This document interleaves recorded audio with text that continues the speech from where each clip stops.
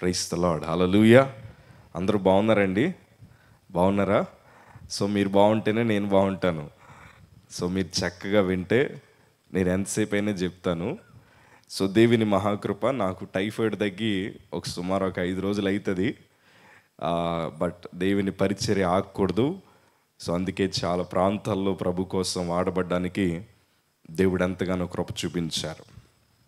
ఈ రాత్రి దేవుడు మనతో ఏదైతే మాట్లాడుతున్నారో ఆ మాటలు మనం శ్రద్ధగా విని వినువారు మాత్రమే కాక వినడం ఒకటే సరిపోదండి. చాలాసార్లు మేము సభల్లో వాక్యాలు చెప్పిన సాక్ష్యాలు చెప్పిన కొంతమంది బిడలు మార్కులు వేస్తారు. ఏమేస్తారు మార్కులు తెలుసు కదా. సర్వసాధారణంగా ఒక సింగింగ్ కాంపిటీషన్ జరుగుతున్నప్పుడు కూర్చొని మార్కులు వేస్తారు. ఎవరన్నా ఏదన్నా ఒక ఎస్ఏని అప్ చెబుతున్నప్పుడు మార్కులు వేస్తారు. కానీ క్రైస్తవ సభల్లో కావాల్సింది మార్కులు కాదు మార్పు కావాలి. దేవునికి స్తోత్రం కలుగును గాక. ఈ రాత్రి ప్రభు మనల్ని మార్చడానికి సిద్ధంగా ఉన్నారు. ఈ రాత్రి మనం ఇరువారు మాత్రమే కాక దేవుడు మనతో ఏదైతే మాట్లాడుతున్నాడో ఆ మాటల్ని మనం హృదయపూర్వకంగా విందాం. దేవునికి స్తోత్రం కలిగిన గాక.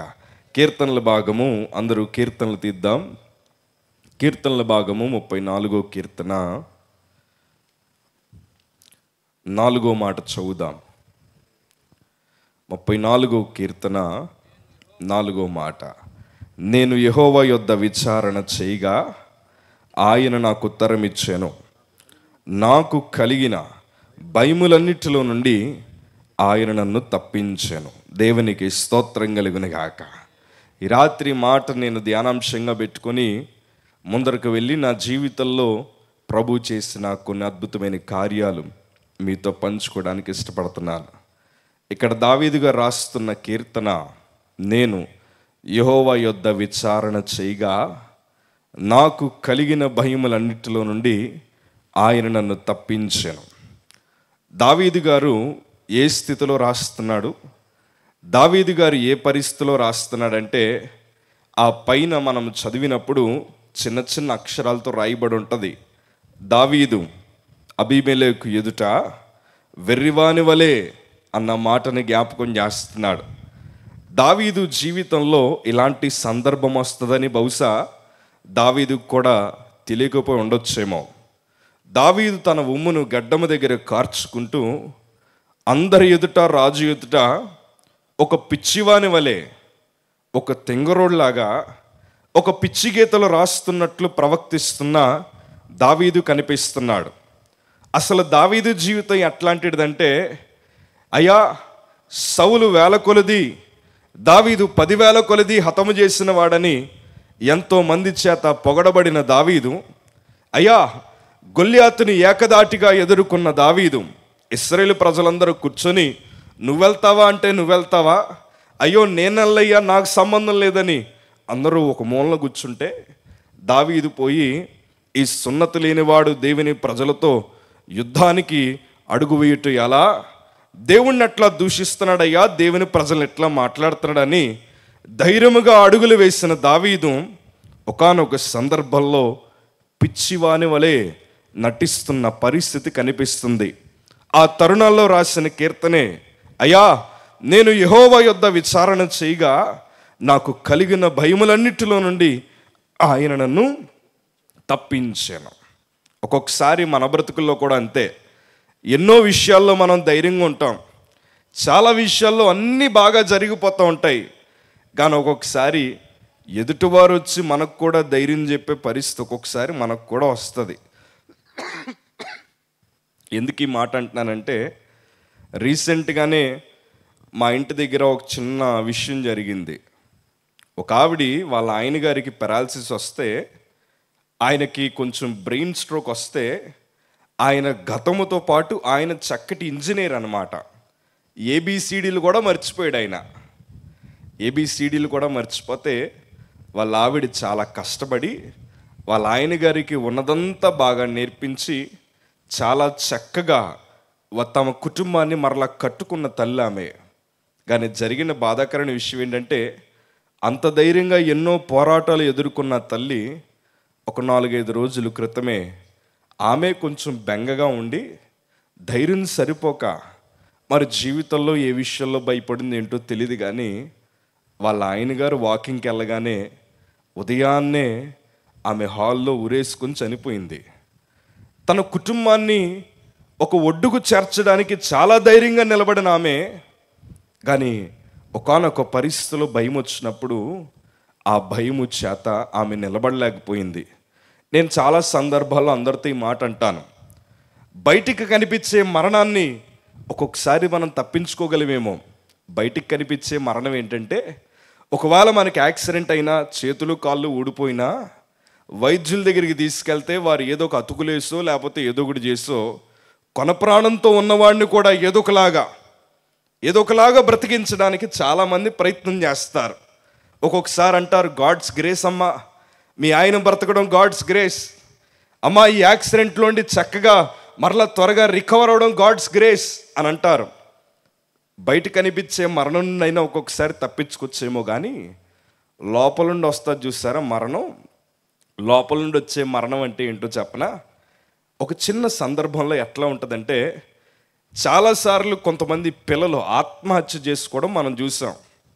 ఎవరు? చాలామంది యవనస్తులు లేదా కుటుంబ సభ్యులు ఆత్మహత్యలు చేసుకోవడం మనం చూసాం. ఎప్పుడన్నా మీకు చెప్పి చేసుకున్నారా?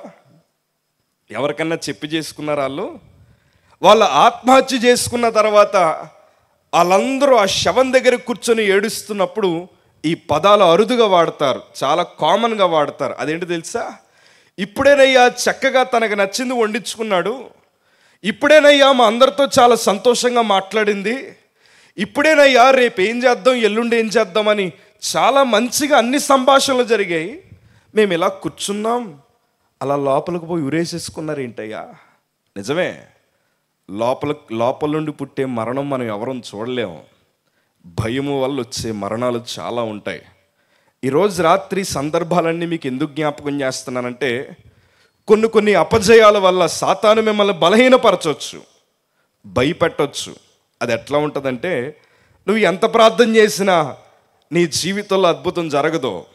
నువ్వు ఎన్ని ఉపవాసాలున్నా నీ బ్రతుకులో ఏ కార్యం జరగదు. నీ పిల్లల కోసం ఎన్ని ప్రార్థనలు పెట్టించుకున్నావో నీ భర్త మారడం కోసం ఎన్ని సంఘములో ఎంత పరిచయం నువ్వు చేసావో కానీ ఎంత చేసినా అది వృధానే అని వెనకాల నుంచి మనకి సాతాను స్వరం వినిపించవచ్చు కానీ రాత్రి మీకు మాట చెప్తాను. మనకి కలిగి ఉన్న భయములన్నిటిలోండి తప్పించగలిగిన సమర్థుడు మన మధ్యన ఉన్నాడు. దేవునికి స్తోత్రం కలుగునిగాక అయ్యా ఏ భయం వచ్చినా ఎందుకయ్యా మీరు ఎట్లా చెప్తున్నారు అని అంటే నాకు చాలా భయాలు వచ్చాయి. మా కుటుంబము ఎన్నో పరిస్థితుల్లో భయపడ్డాం. అయ్యా మాకు నువ్వు తప్ప ఇంకొక ఆధారం లేదయ్యా. అందరూ మమ్మల్ని విడిచిపెట్టిపోయిన పరిస్థితులు మేము ఎన్నో అనుభవించాం. యవన ప్రాయములో దేవుని కోసం కొన్ని సందర్భాల్లో నిలబడిన వారమే. కానీ మధ్య మధ్యలో తొలగిపోయిన పరిస్థితులు కూడా కనిపించాయి. దేవుని శిక్షను అనుభవిస్తూ ఆ మధ్యలో ప్రభువుని తెలుసుకొని ఎన్నెన్నో భయాల మధ్యన బ్రతికిన మేము. ఈరోజు మేము ఇట్లా దీవించబడ్డం గల కారణం ఏంటో తెలుసా? మేము మనుషుల భుజాల మీద పడి ఆడవలేదు మేము మనుషులు పాదాలు పట్టుకుని అయ్యా మా బ్రతికేంటి అని ఎవరిని అడగలేదు. లేకపోతే వారు తెలుసు వీరు తెలుసు. వారు కార్యం చేస్తారు వీరు హెల్ప్ చేస్తారని మనుషులు ఎదుట తిరగలేదు కానీ ఇవాళ మేము ఈ స్థితిలో ఉండం గల కారణం ఏంటో తెలుసా? ఆకాశం వైపు తిరిగి చెప్పగలను. మేము ఆయన పాదాలు చెంత విచారణ చేయగా మా భయములను ఆయన దీవెనగా మార్చాడు. దేవునికి మహిమ కలుగునుగాక. ఈ రాత్రి నేను అంటాను మనందరికీ భయాలు ఉంటాయి బయటికి ఏదో ధైర్యవంతులుగా ఉండినట్టు ఉంటాం మీలో ఎంతమంది సంతోషంగా ఉన్నారండి? ఉన్నారా? ఓ భక్తుడు పాట రాస్తే ఈ మాట అంటాడు నీ సన్నిధానంలో ఏముంది? సంపూర్ణ సంతోషం ఉందంటాడు. నిజమే. ప్రభు సన్నిధిలో ఉన్నప్పుడు మనకి చాలా సంతోషంగా ఉంటుంది. పాటలు పాడినప్పుడు ఆరాధన చేసినప్పుడు వాక్యం చెప్తున్నప్పుడు ఎంత సంతోషంగా ఉంటామో. కానీ మరల తిరిగి ఇంటికి వెళ్ళిన తర్వాత అదే సంతోషం మనకు ఉంటుందా మళ్ళా మన ఇంటికి పోయాక చాలామంది కుటుంబాలు చేసే పని ఏంటంటే అందరూ నిద్రపోయాక ఒక మూలకు పోయి ఒక తలుపు చాటుకు పోయి లేదా భర్తో పిల్లల పాదాల దగ్గర కూర్చొని కొంతమంది గుండెలు బాదుకొని ప్రార్థన చేస్తారు. ఆ ప్రార్థన ఏంటి తెలుసా? ఇంకెన్నాళ్ళు చూడాలి ప్రభా ఈ పరిస్థితి. ఇవన్నీ చూసే కన్నా ఈ రాత్రి నువ్వు తీసేసుకోవచ్చు కదా ప్రభా నన్ను. ఈ బ్రతుకు బ్రతికే కన్నా ఈ రాత్రి నీ రాజ్యానికి చేర్చుకోవచ్చు కదా ప్రభా. బ్రతకలేకపోతున్నానయ్యా. నిలబడలేకపోతున్నాను ప్రభా అని ఏడుస్తున్న కుటుంబాలు ఎన్నో ఉన్నాయి. నిజమే. కానీ ఒక్క మాట చెప్తానయ్యా. యహోవ కొరకు ఎదురు చూచువారు నూతన బలము పొందుదురు. ఆ బలం ఎట్లాంటి బలం అంటే వారి పక్షిరాజు వలె రెక్కలు చాపి పైకి ఎగురుదురు. అలయక పరిగెత్తుదురు.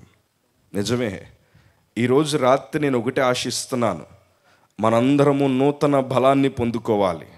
మనందరము నూతన శక్తిని పొందుకోవాలి. ఏదో వచ్చాం వినేసి వెళ్ళిపోయామన్నట్లు కాదు. మీరు పొందుకున్న బలాన్ని మీతో పాటు మిమ్మల్ని ఇరవై నాలుగు గంటలు అబ్జర్వ్ చేస్తున్న మీ సమాజం ఇరవై నాలుగు గంటలు మీతో కలిసి బ్రతుకుతున్న మీ కుటుంబ సభ్యులు మీ ముఖము చూడగా వారికి అర్థమవ్వాల్సిన విషయం ఏంటో తెలుసా? పూర్వ దినములో వారి బలము వేరు. కానీ మొన్న వారు సభలకు సభలకు వెళ్ళి వచ్చాక వారు అనుభవిస్తున్న బలము వేరు అన్న సాక్ష్యం మనందరము పొందుకుందుము గాక. దేవునికి స్తోత్రం కలుగును గాక.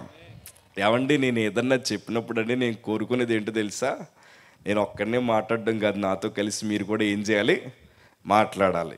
సో మిమ్మల్ని మాట్లాడించడానికి మిమ్మల్ని వచ్చిన చిన్న మాట అడుగుతాను. మీ అందరికీ కీర్తనలు తెలుసు కదా? తెలుసండి? అమ్మో చెప్పండి అమ్మా. తెలుసండి? కీర్తనలో మొదటి కీర్తన అప్పు చెప్పండి నాకు ఒకసారి. నవ్వుతారు ఏంటండి? చెప్పండి. దుష్టులా? అది థ్యాంక్ యూ చెప్పండి దుష్టులా? ఆలోచన చెప్పును నడువక? ఇంకా గట్టిగా చెప్పండి. అన్నలు ఎవరు చెప్పట్లే వెనకాల? ఆ, కూర్చుండ చోటన కూర్చుండక చాలండి. ఇప్పుడు అపహాస్యకులు కూర్చుండ చోటన కూర్చుండక అన్న మాట ఈ కీర్తనల భాగంలో ఆ మొదట చెప్పబడిన మాటలు మనం పాటించినప్పుడు మన బ్రతుకు చాలా అద్భుతంగా ఉంటుంది. ఇప్పుడు మిమ్మల్ని ఒక చిన్న పని చేయమని అడుగుతా. మీ పక్కనున్న వారి ముఖం చూడండి ఒకసారి. మీ పక్కన ఎవరైతే కూర్చున్నారో ఒకసారి వారి ముఖం చూసి నా వైపు చూడండి. చూసారా? ఇప్పుడు నాతో కలిసి చెప్పండి. అపహాస్యకులు కూర్చుండ చోటన కూర్చుండక. మళ్ళీ ఒకసారి వాళ్ళ వైపు చూడండి ఒకసారి మళ్ళీ చూసి. ఇప్పుడు మళ్ళీ ఈ మాట చెప్పండి. అపహాస్యకులు కూర్చుండ చోటన కూర్చుండక. ఇది మనం చెప్పుకోవడానికి చాలా సరదాగా ఉంటుంది కానండి. చూసి నవ్వుకొని మా పక్కనున్న వాళ్ళని అలా వాళ్ళ ముఖం చూసి మళ్ళీ ఈ మాట చెప్పడానికి అది ఏదో సెటైరిక్గా ఉంటుంది కానీ మీకు మాట చెప్తాను. ఈ మాట మీరు పాటిస్తే ప్రమాదము నుంచి తప్పించబడతారు. ఈ మాటను నూటికి నూరు శాతం మీరు దాన్ని పాటించగలిగితే పునాదులు లేపినట్లు నా దేవుడు మిమ్మల్ని ఉన్నతమైన స్థితిలో పెడతాడు. ఎందుకో చెప్పనా? అపహాస్యకులు ప్రమాదకరమైన వారు. దేవుని వాక్యం చెప్పబడుతున్నప్పుడు దేవుని వాక్యం మన గమ్యాలు మార్చడానికి ప్రజల హృదయాల్లోకి ప్రవేశించడానికి దేవుని వాక్యము దేవుడు వినిపిస్తున్నప్పుడు సాతానగాడు ఏం చేస్తారంటే పాటల్లో ఎంజాయ్ చేయి ఆరాధనలో నువ్వు బాగానే ఉండు. కానీ వాక్యంకి వచ్చేసరికి ఏం చేస్తాడో తెలుసా? వాక్యానికి వచ్చేసరికి ఏం చేస్తాడో తెలుసా? పక్కన వాళ్ళు వాళ్ళు అంటారు కాలు తిమ్మిరి ఎక్కట్లేదా నీకు? ఏమంటారండి? కొంచెం అటు జరుగు మొత్తం క్రికెట్ ఆడుకునే అంత ప్లేస్ ఉన్నా కానీ వీళ్ళు ఏమంటారు తెలుసా? ఇరుగ్గా ఉంది కొంచెం అటు జరుగు. ఏదే గోల్డ్ రంగు ఎప్పుడు మార్చేవే నువ్వు? మీకు ఎందుకు ఈ మాటలు వస్తాయి? ఎందుకో చెప్పనా? వాక్యం అంటే మనం అనుకున్నట్టు చిన్న విషయం కాదయ్యా. వాక్యం అంటే మనం అనుకున్నట్టు చిన్న విషయం కాదు. ఆ పరమందున్న దేవుడు తన ప్రజల గమ్యాలు మార్చడానికి ఆయన మనందరితో మాట్లాడుతున్న మాట. దేవుని వాక్యం ఎంత శక్తివంతమైందంటే అంతెందుకు ఎందుకు పనికిరా నా జీవితం? ఇవాళ ఇట్లా నిలబడ్డం గల కారణం ఏంటో తెలుసా? ఎక్కడో మారుమూల ప్రాంతంలో ఒక మూల బ్రతకాల్సిన నా జీవితం ఇవాళ ప్రభు కోసం నిలబడి ఇట్లాగ బ్రతకడం గల కారణం ఏంటో తెలుసా? వాక్యం చదవడం వల్ల వాక్యాన్ని వినడం వల్ల. అంతెందుకు రెండు వేల పద్నాలుగులో నాకు నేను సేవకు వచ్చానండి. రెండు వేల పద్నాలుగులో నేను సంపూర్ణ సేవకు వచ్చేసాను నా వయసు అప్పుడు చాలా చిన్నది. నాకు అభిషేక ఆరాధన పెట్టారు. ఇంచుమించు ఒక ఇరవై ముప్పై సేవకులు అందరూ వచ్చి అభిషేక ఆరాధన పెట్టినప్పుడు మా అమ్మగారు నాకు ఒక చక్కటి గోల్డ్ కవర్ పేపర్లో ఒక చక్కటి బహుమానాన్ని తీసుకొచ్చి ఇచ్చింది మా అమ్మ. సర్వసాధారణంగా నేను సేవకు వచ్చిన తొనిదేలాల్లో నాకు కొంచెం ఫోన్లు అంటే బాగా ఇంట్రెస్ట్. అంటే ఎక్కువ మాట్లాడడం అని కాదు కానీ నాకు ఎక్కువ టెక్నాలజీ మీద బాగా ఇంట్రెస్ట్ ఎక్కువ అనమాట మా అమ్మగారు అలా గిఫ్ట్ పేపర్ తీసుకురాగానే నేను అనుకున్నాను నాకు అప్పుడు బ్లాక్బెర్రీ ఫోన్స్ అంటే బాగా ఇష్టం. అందులో పాస్పోర్ట్ అని ఒక మోడల్ ఉండిద్ది. అది కొంచెం చాట్ లాగా ఉంటుంది అనమాట మా తల్లిగారు ఆ ఫోన్ ఏమన్నా బహుమానంగా ఇచ్చిందేమో అనుకొని కొంచెం సంతోషంగా ఆ పొట్లం ఓపెన్ చేసేసరికి అందులో ఏం కనిపించిందంటే పరిశుద్ధ గ్రంథం అని కనిపించింది. సేవలోకి వచ్చాను. మా తల్లిగారు నాకు బైబిల్ బహుమానంగా ఇచ్చింది. సరే నిజమే. ఈ ప్రపంచంలో ఈ ఫోన్ల కన్నా అన్నిటికన్నా బైబిల్ చాలా విలువైంది కాబట్టి దాన్ని గుండెలకు హత్తుకొని చాలా చక్కగా దాన్ని వాడడం ప్రారంభించాను. వాడడం అంటే మీకు అర్థమయ్యే భాషలో చెప్తాను. కొంతమంది క్రైస్తవ బిడ్డలు దాన్ని ఎట్లా వాడతారంటే తల్లపు వచ్చినప్పుడు బైబిల్ ఎక్కడికి వెళ్ళిపోద్ది? చెప్పండి ఎక్కడికి వెళ్ళిపోద్ది బైబిల్? తలనొప్పి వచ్చినప్పుడు తల దగ్గరికి పోయిద్ది గుండె దడదడలు అనిపించినప్పుడు ఎక్కడ పోయిద్ది? గుండె దగ్గరికి పోయిద్ది. కొంచెం గ్యాస్ట్రిక్ ప్రాబ్లం వచ్చినా కొంచెం అరుగుదల శక్తి కొంచెం తక్కువ ఉన్నా మీరందరూ కాదులేండి కొంతమంది ఉన్నారు. వాళ్ళు ఎక్కడ పెట్టుకుంటారంటే కడుపు దగ్గర పెట్టుకుంటారు. కొంతమందికి రాత్రులు తలగాడ దగ్గర పెట్టుకుంటారు. ఎందుకంటే ఇవాళ వాక్యం చదవలేకపోయిన ప్రభా కానీ ఈ అక్షరాలన్నీ నా తలగాడ పక్క నుంచి ఎక్కడికి వచ్చేయాలి? నా బుర్రలోకి వెళ్ళిపోవాలి ప్రభా అనుకుంటారు కొంతమంది. ఇంకో కొంతమంది ఎలాంటి వాళ్ళు ఉన్నారు లేదు తెలియదు కానీ కాళ్ళు నొప్పి వచ్చినప్పుడు బైబిల్ ఎక్కడికి పోయిద్ది? అమ్మో ఇలాంటి వాళ్ళు కూడా ఉంటారయ్యా. నేను అట్లనే వాడడం ప్రారంభించాను. ప్రభా మంచి కళలు కావాలి. తల దగ్గర ఎట్టు పడుకునేవాడిని? ప్రభా మంచి ఆలోచనలు రావాలి. తలగాడి కింద పెట్టి పడుకునేవాడిని. చేత్తో పట్టుకుని బైబిల్ అంతా తిరిగేసి ఏ మీటింగ్ పోయినా కారు ముందర మాత్రం బైబిల్ నెట్టేసేవాడిని ఇలాగా. ఎక్కడ? నాకు ముందుగా నువ్వే వెళ్ళాలి ప్రభా అని కారు దగ్గర దీన్ని పెట్టేస్తే మీకు మాట చెప్తాను. నా బ్రతుకు ఎప్పుడు దీవించబడలేదు. బైబిల్ చేత్తో పట్టుకెళ్ళిన నా బ్రతుకు ఎప్పుడు దీవించబడలేదు. బైబిల్ తల దగ్గర పెట్టాను నా బ్రతుకు ఎప్పుడు ఆశీర్వదించబడలేదు. బైబిలు ఎక్కడెక్కడో పెట్టాను ఎప్పుడూ నా బ్రతుకు మారలేదు. అసలు నా జీవితం ఎప్పుడు దీవించబడడం ప్రారంభించిందంటే ఇది ప్రస్తుతానికి నేను వాడుతున్న రెండో బైబిల్ అండి ఇది ప్రస్తుతానికి నేను వాడుతున్న రెండో బైబిలు. నా పాత బైబిల్ ఎలా ఉంటుందో తెలుసా? ఎవరో వచ్చి దాన్ని శుభ్రంగా నలిపేసినట్టు కనిపిస్తుంది. ఎందుకంటే నా జీవితంలో నేర్చుకున్న గొప్ప పాఠం ఏంటంటే చేతిలో బైబిల్ ఉంటే మనం దీవించబడ్డాం. కానీ నా జీవిత అనుభవంతో చెప్తున్నాను బైబిల్ నలుగుతే నువ్వు వెలుగుతావు. బైబిల్ నలుగుతే నువ్వు వెలుగుతావు.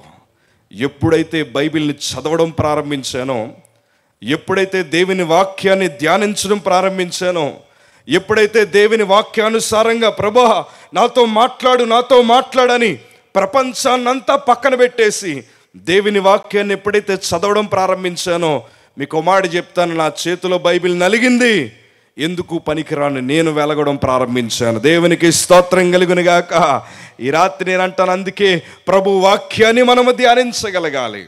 ఇవాళ దేవుని వాక్యం చదివాక ఆయన మనస్సుని తెలుసుకున్న నేను నాకు అర్థమైన ఒక విషయం ఏంటంటే ప్రభు దీవించాలంటే స్తోమతతో పని లేదు. ప్రభు దీవించాలి అంటే అర్హతతో పని లేదు.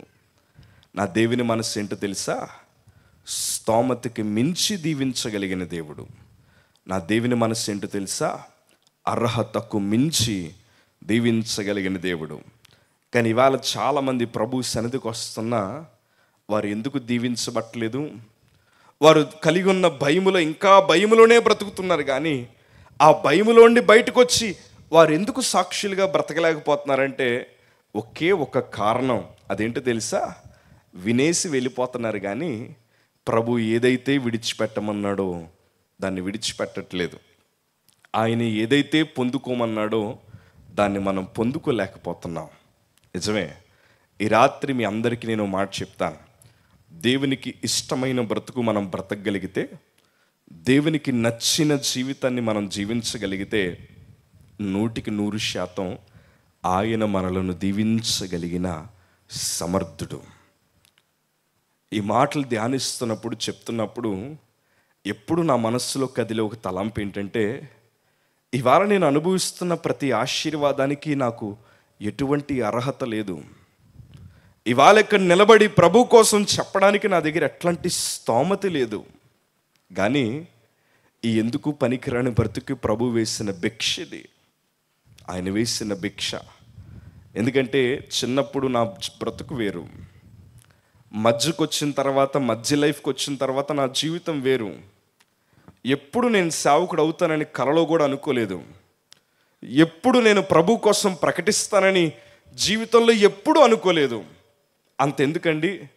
నేను ప్రకటిస్తున్న యేసు ప్రభే అసలు దేవుడు కాదు అని నమ్మిన వాడిని నేను పుట్టడం సేవకుల కుటుంబంలో పుట్టిన సేవకుల అనుభవాల్లో పెరిగిన దేవుని పరిచర్లో చిన్నప్పుడు ఒక బలమైన సాధనంగా దేవుని కోసం వాడబడిన లోకము నా మనసు ఎట్లా మార్చేసిందంటే ఈ బైబిల్ ఒక అబద్ధపు పుస్తకం. యేసు ప్రభు ఒక అబద్ధికుడు. ఆయన ఎక్కడో రక్తం గారుస్తే మనకెట్లా స్వస్థ వస్తుంది ఆయన ఎక్కడో దెబ్బలు పొందితే ఆ దెబ్బల వల్ల మనం ఎట్లా స్వస్థపడతాం? అంటే మనం పాపులమా? అంటే మనం మంచోళ్ళం కాదా?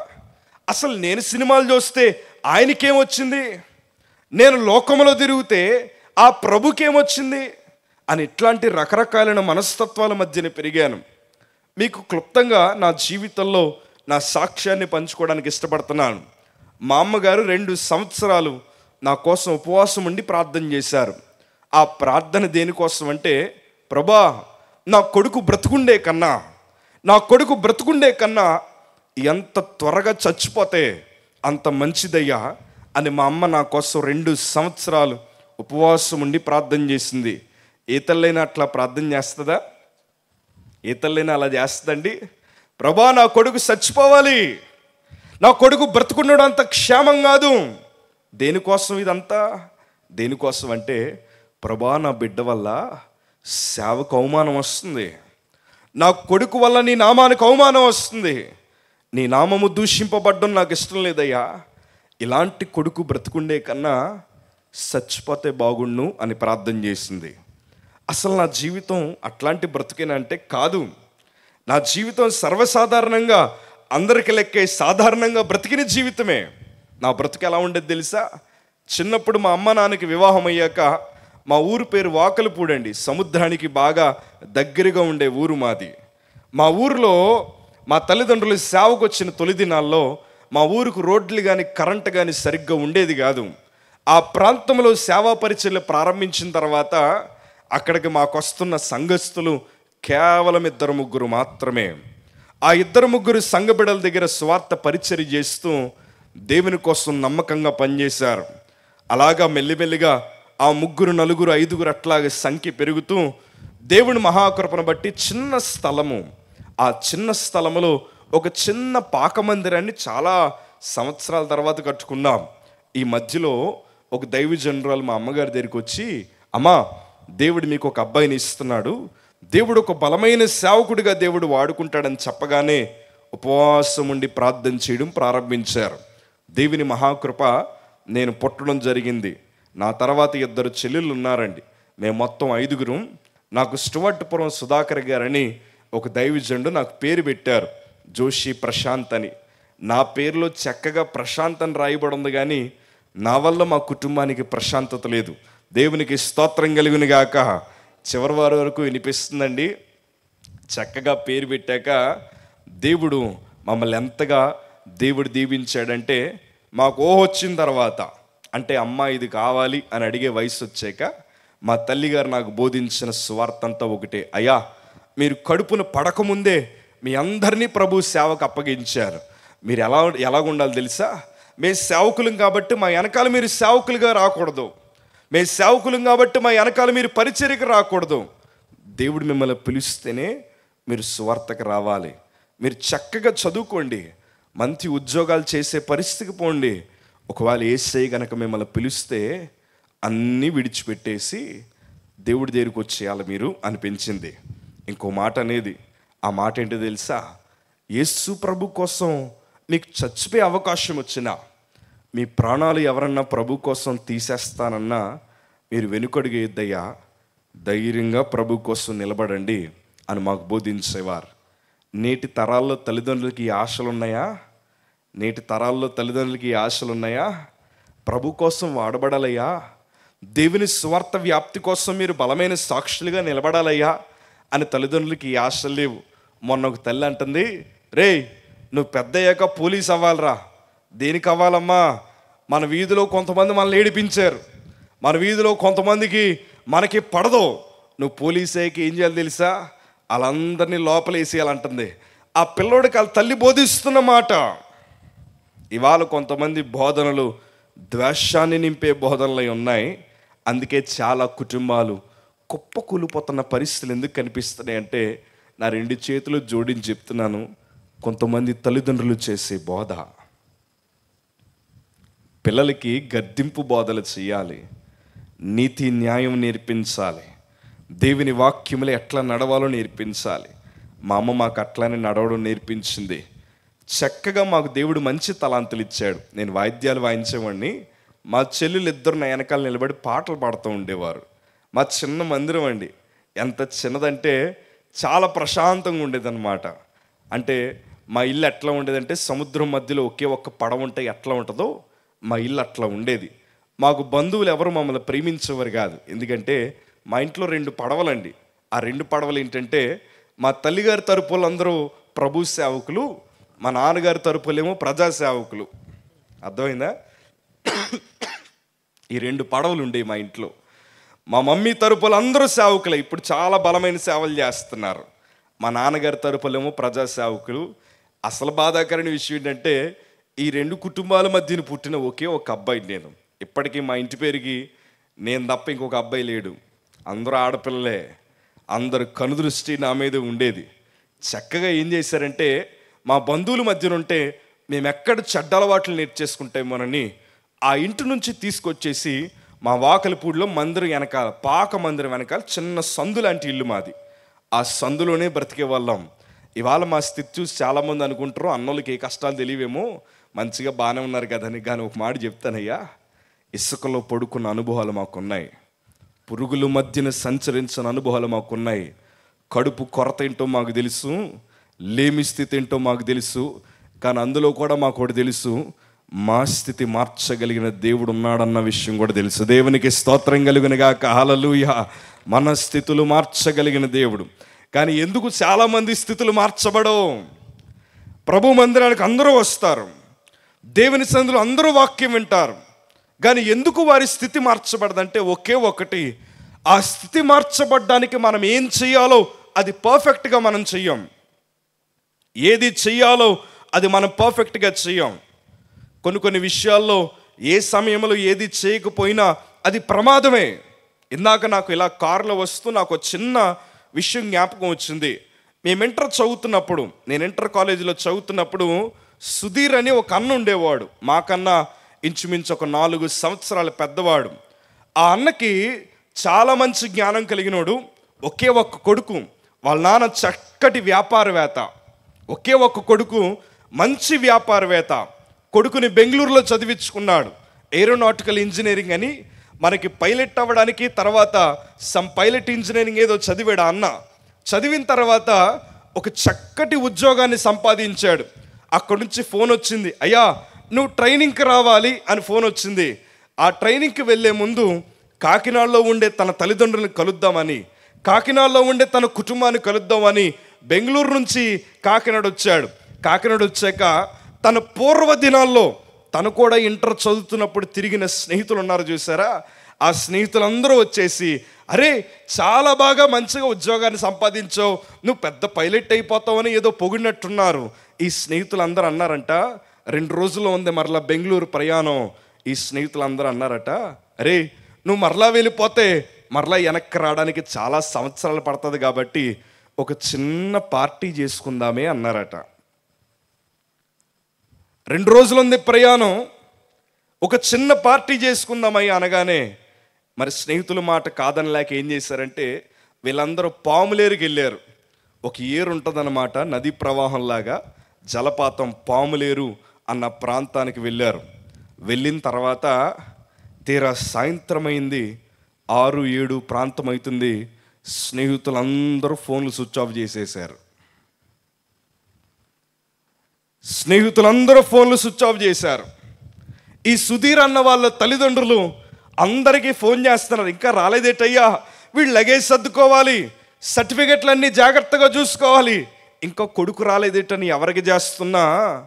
ఎవ్వరూ ఫోన్లు ఎత్తట్లేదు. కొంతమంది స్విచ్ ఆఫ్. తల్లిదండ్రులు ఏం చేశారంటే అసలు నా కొడుకు ఎక్కడికి వెళ్ళాడు? అని వెతకడం ప్రారంభించారు. వెతకడం ప్రారంభిస్తే ఒక స్నేహితుడు ఆ నిజాన్ని దాచలేక తల్లిదండ్రులాగానే ఓ మాట చెప్పాడు. అమ్మా మా కళ్ళ ముందే ఆడ జలపాతంలో కొట్టుకుపోయాడని చెప్పారు. రెండు రోజుల్లో ప్రయాణం ఆ రెండు రోజుల ప్రయాణం తర్వాత చక్కగా ట్రైనింగ్ అయ్యాక ఒక మంచి హుందాగా ఉద్యోగాన్ని సంపాదించాల్సిన తను ఆ జలపాతంలో కొట్టుకుపోయాడని చెప్పగానే ఉన్న ఒక్కగానొక కొడుకు కోసం వెతకడం ప్రారంభించారు. మూడు రోజుల తర్వాత దొరికింది ఆ శవం. ఆ శవం ఎట్లా ఉందో తెలుసా? పైకి ఏమి రాలేదు. తను కొట్టుకుపోతున్నప్పుడు లోపల ఇసుక మధ్యలో కూరుకుపోయాడట. పైకి తీసేసరికి చేపలు ఇవన్నీ కలిసి సగం శరీరాన్నే తినేసాయి అప్పుడు ఆ తల్లి అంటుంది ఎందుకు వెళ్ళావయ్యా మమ్మల్ని విడిచిపెట్టి? అరే రెండు రోజుల్లో నీ ప్రయాణాన్ని పెట్టుకొని అనవసరంగా స్నేహితులు పిలిస్తే పోయేవేంటయ్యా? అని తల్లి ఎంత గుండెలు బాదుకుని ఏడుస్తున్నా ఆ చుట్టూ ఉండే స్నేహితులు ఉన్నారు చూసారా? అలా మౌనంగా తలదించుకున్నారు. ఇప్పుడు నష్టపోయింది ఎవరు? అమ్మ నష్టపోయింది ఎవరు? స్నేహితులా? స్నేహితులు మహా అయితే ఏం చేస్తారు తెలుసా? వాడితో కలుస్తున్న ఫోటోలు నాలుగైదు ఫేస్బుక్లో పెట్టి వెనకాల ఒక చిన్న సాడ్ మ్యూజిక్ లేకపోతే ఏదో ఒక ఏడుపు కొట్టు పాట వెనకాల పెట్టి నువ్వు ఆకాశంలో ఉన్న తారవనో లేకపోతే మా గుండెల్లో నిలిచిపోయిన ప్రాణ స్నేహితుడువనో నాలుగైదు స్టేటస్లు పెట్టి ఊరుకుంటారు. కానీ పూర్తిగా నష్టపోయేది ఎవరో తెలుసా? చెప్పండి ఎవరు నష్టపోయారమ్మా ఇవాళకి ఆ తల్లిదండ్రులు బహుశా ఏడుస్తున్నారేమో. విమానం చూసిన ప్రతిసారి ఏడుస్తారేమో. ఇంట్లో చక్కగా తిరగాల్సిన కొడుకు ఈ పాటికి చక్కగా వివాహమయ్యి పిల్లలతో కలిసి బ్రతకాల్సిన కొడుకు జీవితమే లేకుండా పోయాడని ఏడుస్తూ ఉంటారు. నేను అంటాను ఏ సమయంలో ఏది చేయకపోయినా ఏ సమయంలో ఏది చేయాలో అది చేయకపోయినా అది మనకి ప్రమాదమే. చిన్నప్పుడు మాకు అదే నేర్పించారు. అయ్యా మీరు సేవకులుగా వాడబడాలి. చక్కగా ప్రభు కోసం నిలబడాలి. దేవుని స్వార్థ విషయంలో మీరు అడుగులు ముందుకేయాలని ఆ ఒకే ఒక్క బాట మాకు వేశాక మేము అదే బాటలో ప్రయాణం చేశాం. నేను ఉన్నతంగా చదువుకోవాలని మా స్తోమతకి మించిన స్కూల్లో నన్ను జాయిన్ చేశారు. ఫీజులు కట్టే అంత అవకాశం మా ఇంట్లో వారికి లేకపోయినా నా కొడుకు చక్కటి సావుకుడు అవ్వాలన్న ఒకే ఒక తలంపుతో నన్ను స్కూల్లో జాయిన్ చేశారు. అయ్యా మా స్థితి ఎట్లా ఉండదంటే మేము ముగ్గురం కడుపు నిండా భోంచేయడానికి మా ఇంట్లో వారు పస్తులుంటున్న పరిస్థితి. మాకొస్తున్న సంఘ విశ్వాసులు చాలా తక్కువ మంది. ఉద్యోగాలు మానేసి సంపూర్ణ సేవకు వచ్చాక ఎన్నెన్నో బాధలు అనుభవిస్తున్న జీవితం. మా బ్రతికేమైపోయిందో తెలుసా? మా స్కూలుకు పోతే ఆ ధనవంతుల పిల్లలు ఎవరు నా పక్కన కూర్చునేవారు కాదు. నేను వారితో మాట్లాడదామన్నా నాతో మాట్లాడేవారు కాదు. వారితో కలిసి సహవాసం చేద్దామన్నా నాతో సహవాసం చేసేవారు కాదు. ఎందుకంటే నా దగ్గర ధనము లేదు. వారి స్థాయికి మించిన పరిస్థితులు నా దగ్గర లేవు. అక్కడ ఒంటరితనమే. రెండో ఒంటరితనం ఏంటో తెలుసా? మా కుటుంబాన్ని ఎవరు పట్టించుకునేవారు కాదు. నానుకున్న వారే మమ్మల్ని వెలివేసిన పరిస్థితి. మాకు సంచులు ఇచ్చి మా అమ్మగారు రేషన్ షాపుకు పంపించేది. రేషన్ షాప్కి వెళ్తే అందరూ మమ్మల్ని ఇలా గుంపు కూడేసి చిన్నపిల్లలు నేను మా చెల్లు పోయేవాళ్ళం. అక్కడ ఏమనేవారంటే ఎరా మీ అమ్మా నాన్న ఇంటింటికి పోయి అడుక్కు తింటారు కదా మీకు బియ్యానికి ఏం తక్కువ వచ్చాయి? మీ మమ్మీ డాడీకి కూరగాయలు ఇస్తారు కదరా మీకు కూరగాయలకి ఏం తక్కువ వచ్చాయి? అని మమ్మల్ని ఎగతాళి చేస్తున్న పరిస్థితి. యేసు ప్రభు పాటల్ని ఎగతాళిగా పాడి స్తోత్రం చెల్లింతుమనే పాటలు ఎగతాళిగా పాడి యేసు ప్రభుని నానుకున్న వారే దూషిస్తూ ఉంటే వారందరి మధ్యన తలదించుకొని మా ఇంటికి వస్తూ ఉండేవాళ్ళం. మా అమ్మ అప్పుడు ఏమనేదంటే అయ్యా వారికి సత్యం తెలియదు కాబట్టి మీరు వారిని క్షమించాలి. ఈ బోధన మాకు చేసేవారు. ఇలాంటి జీవితం అండి మాది. దేవుని మహాకృప సభలు పెట్టే దీవెన మాకు ఇచ్చాడు దేవుడు. మా చిన్న వయసులోనే మా పాకమందిరం ఉన్నప్పుడే అరుల్ రాజు గారు దైవజండి పిలిచి మేము మీటింగ్స్ పెట్టడం ప్రారంభించాం. ఆయన నా నెత్తి మీద ఇట్లా చేసి ఓ ప్రార్థన చేసేవారు. దేవుడు నేను ఎలీషాలా వాడుకుంటాడయ్య అంటే సండే స్కూల్ పిల్లోడిని నాకు ఇన్స్పిరేషన్ ఎవరంటే దావీదు గారు తప్ప దావీదు గొల్యాతు స్టోరీ తప్ప నాకేం తెలిసేది కాదు చిన్న వయసులో. మా అమ్మగారు ఎలీషా కోసం బోధించడం ప్రారంభించాక చాలా సంతోషం అనిపించింది. నేను ప్రార్థన చేయడం ప్రారంభించాను. తండ్రి నన్ను కూడా ఎలీషలా వాడుకో అయ్యా.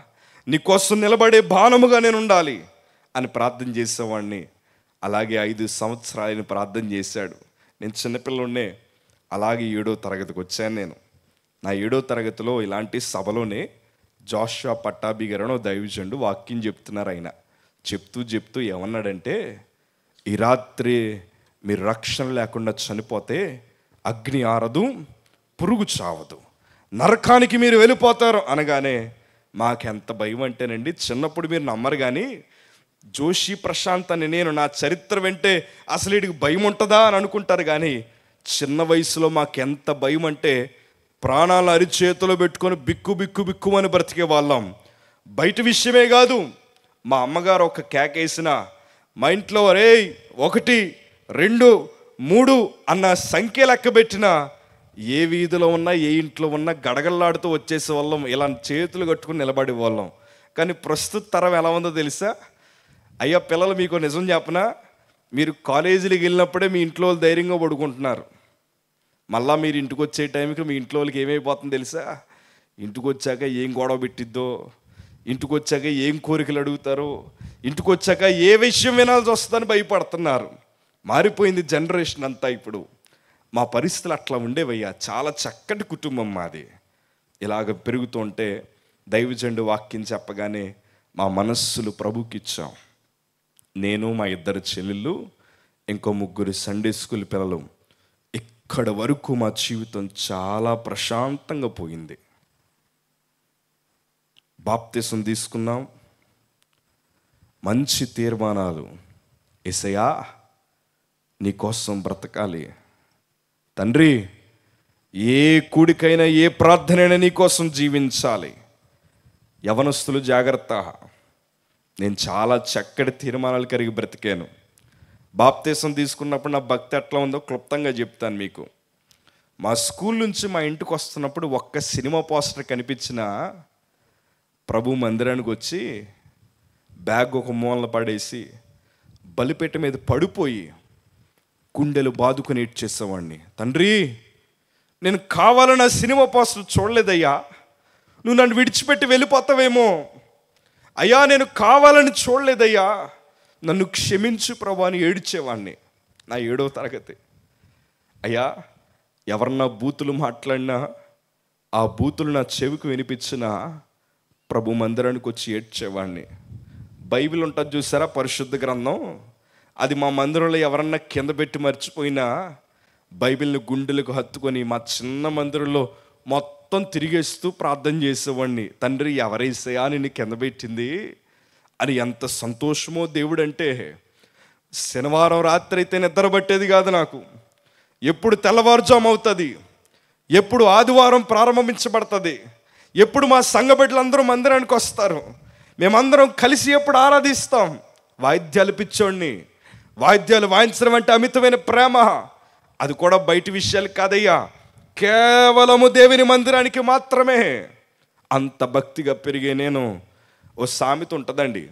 ఎంత పెద్ద చేప అయినా చిన్న గేలానికి పడిపోద్దట. అంతేనా? ఎంత పెద్ద చేప అయినా ఓ చిన్న ఎర వేసి ఓ గేల వేసాం అనుకోండి అలా కూర్చుంటే చాలు. అది ఎత్తుక్కుంటూ వచ్చి దాన్ని నోటితో పట్టేసుకుంటుంది. మనం కూడా అంతే. మీలో బాప్తీసం తీసుకున్న వాళ్ళు ఎంతమంది ఉన్నారో బిగ్గరగా ఒకసారి దేవునికి స్తోత్రం చెప్పండి ఒకసారి. థ్యాంక్ యూ దేవునికి మహిమ కలుగుని గాక. మీకు చిన్న మాట చెప్తానే. బాప్తీసం తీసుకున్న వాళ్ళని దేవుడు ఎంతైతే బలముగా వాడుకోవాలని ఇష్టపడతాడో ఆ బాప్తీసం పొందిన వారిని అంతే పతనం చేయాలని సాతాను ఎన్నో ఎరలు వేస్తాడు. అర్థమైంది కదండి నేను చెప్పింది? సాతానుగాడు నాకు ఎర వేసాడు. అదేంటంటే నాకు ప్రేమ దొరకట్లే. బండి మీద తిరిగి ఐ లవ్ యూ ప్రేమ కాదు. నా ప్రేమ ఏంటో తెలుసా? నా స్నేహితులు నన్ను చేర్చుకొని అయ్యా నువ్వు కూడా మా స్నేహితుడివే అని ప్రేమగా పలకరిస్తే చాలు. మా బంధువులు మమ్మల్ని ప్రేమగా పిలిచి అయ్యా మీరు కూడా మా బంధువులే మీరు కూడా మాకంటే ఇష్టమేనయ్యా అని మమ్మల్ని పక్కన కూర్చోబెట్టుకొని భోజనం పెడితే చాలు ఆ ప్రేమ కోసం ఎదురు చూస్తున్నా. కానీ ఓ రోజు నా ఏడో తరగతిలో మా టీచర్ గారు స్కూల్కి రాలేదండి. స్కూల్కి రాకపోతే ఖాళీ పీరియడ్ అది. బెంచ్ మీద కూర్చొని మ్యూజిక్ వాయించుకుంటున్నాను. మా టీచర్ గారు అట్లా పోతూ పోతూ విన్నాడు ఆయన. అరే చాలా చక్కగా వాయిస్తున్నావయ్యా. ఎక్కడ నేర్చుకున్నావు అని అడిగారు. నేను అన్నాను ఎక్కడ నేర్చుకోలేదయ్యా. నాకు మందిరంలో వాయించడం అలవాటు.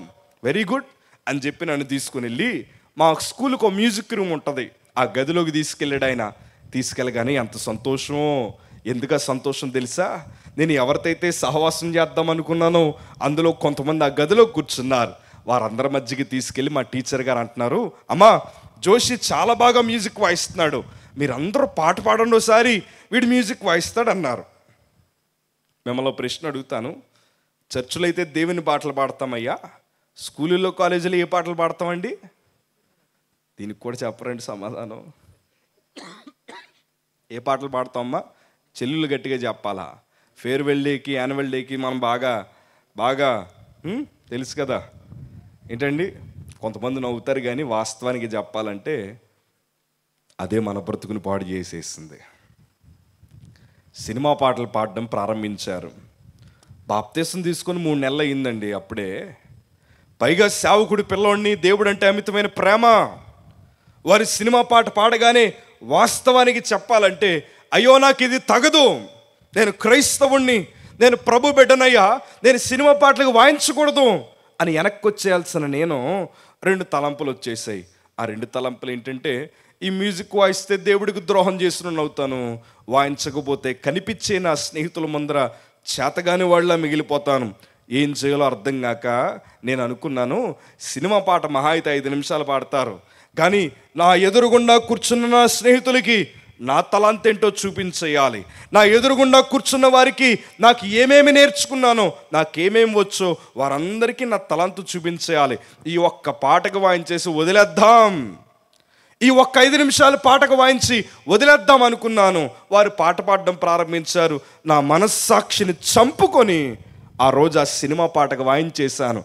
వాయించిన తర్వాత అక్కడి నుంచి మానేద్దాం అనుకున్నాను కానీ మనిషి బ్రతికి ఎక్కడ పాడైపోద్దంటే పాపము చేస్తున్న వాడిని పొగిడితే ఆ పాపంలోనే ఉండిపోతాడు. పొగడ్త చాలా ప్రమాదం అండి. తెలుసా మీకు ఆ విషయం?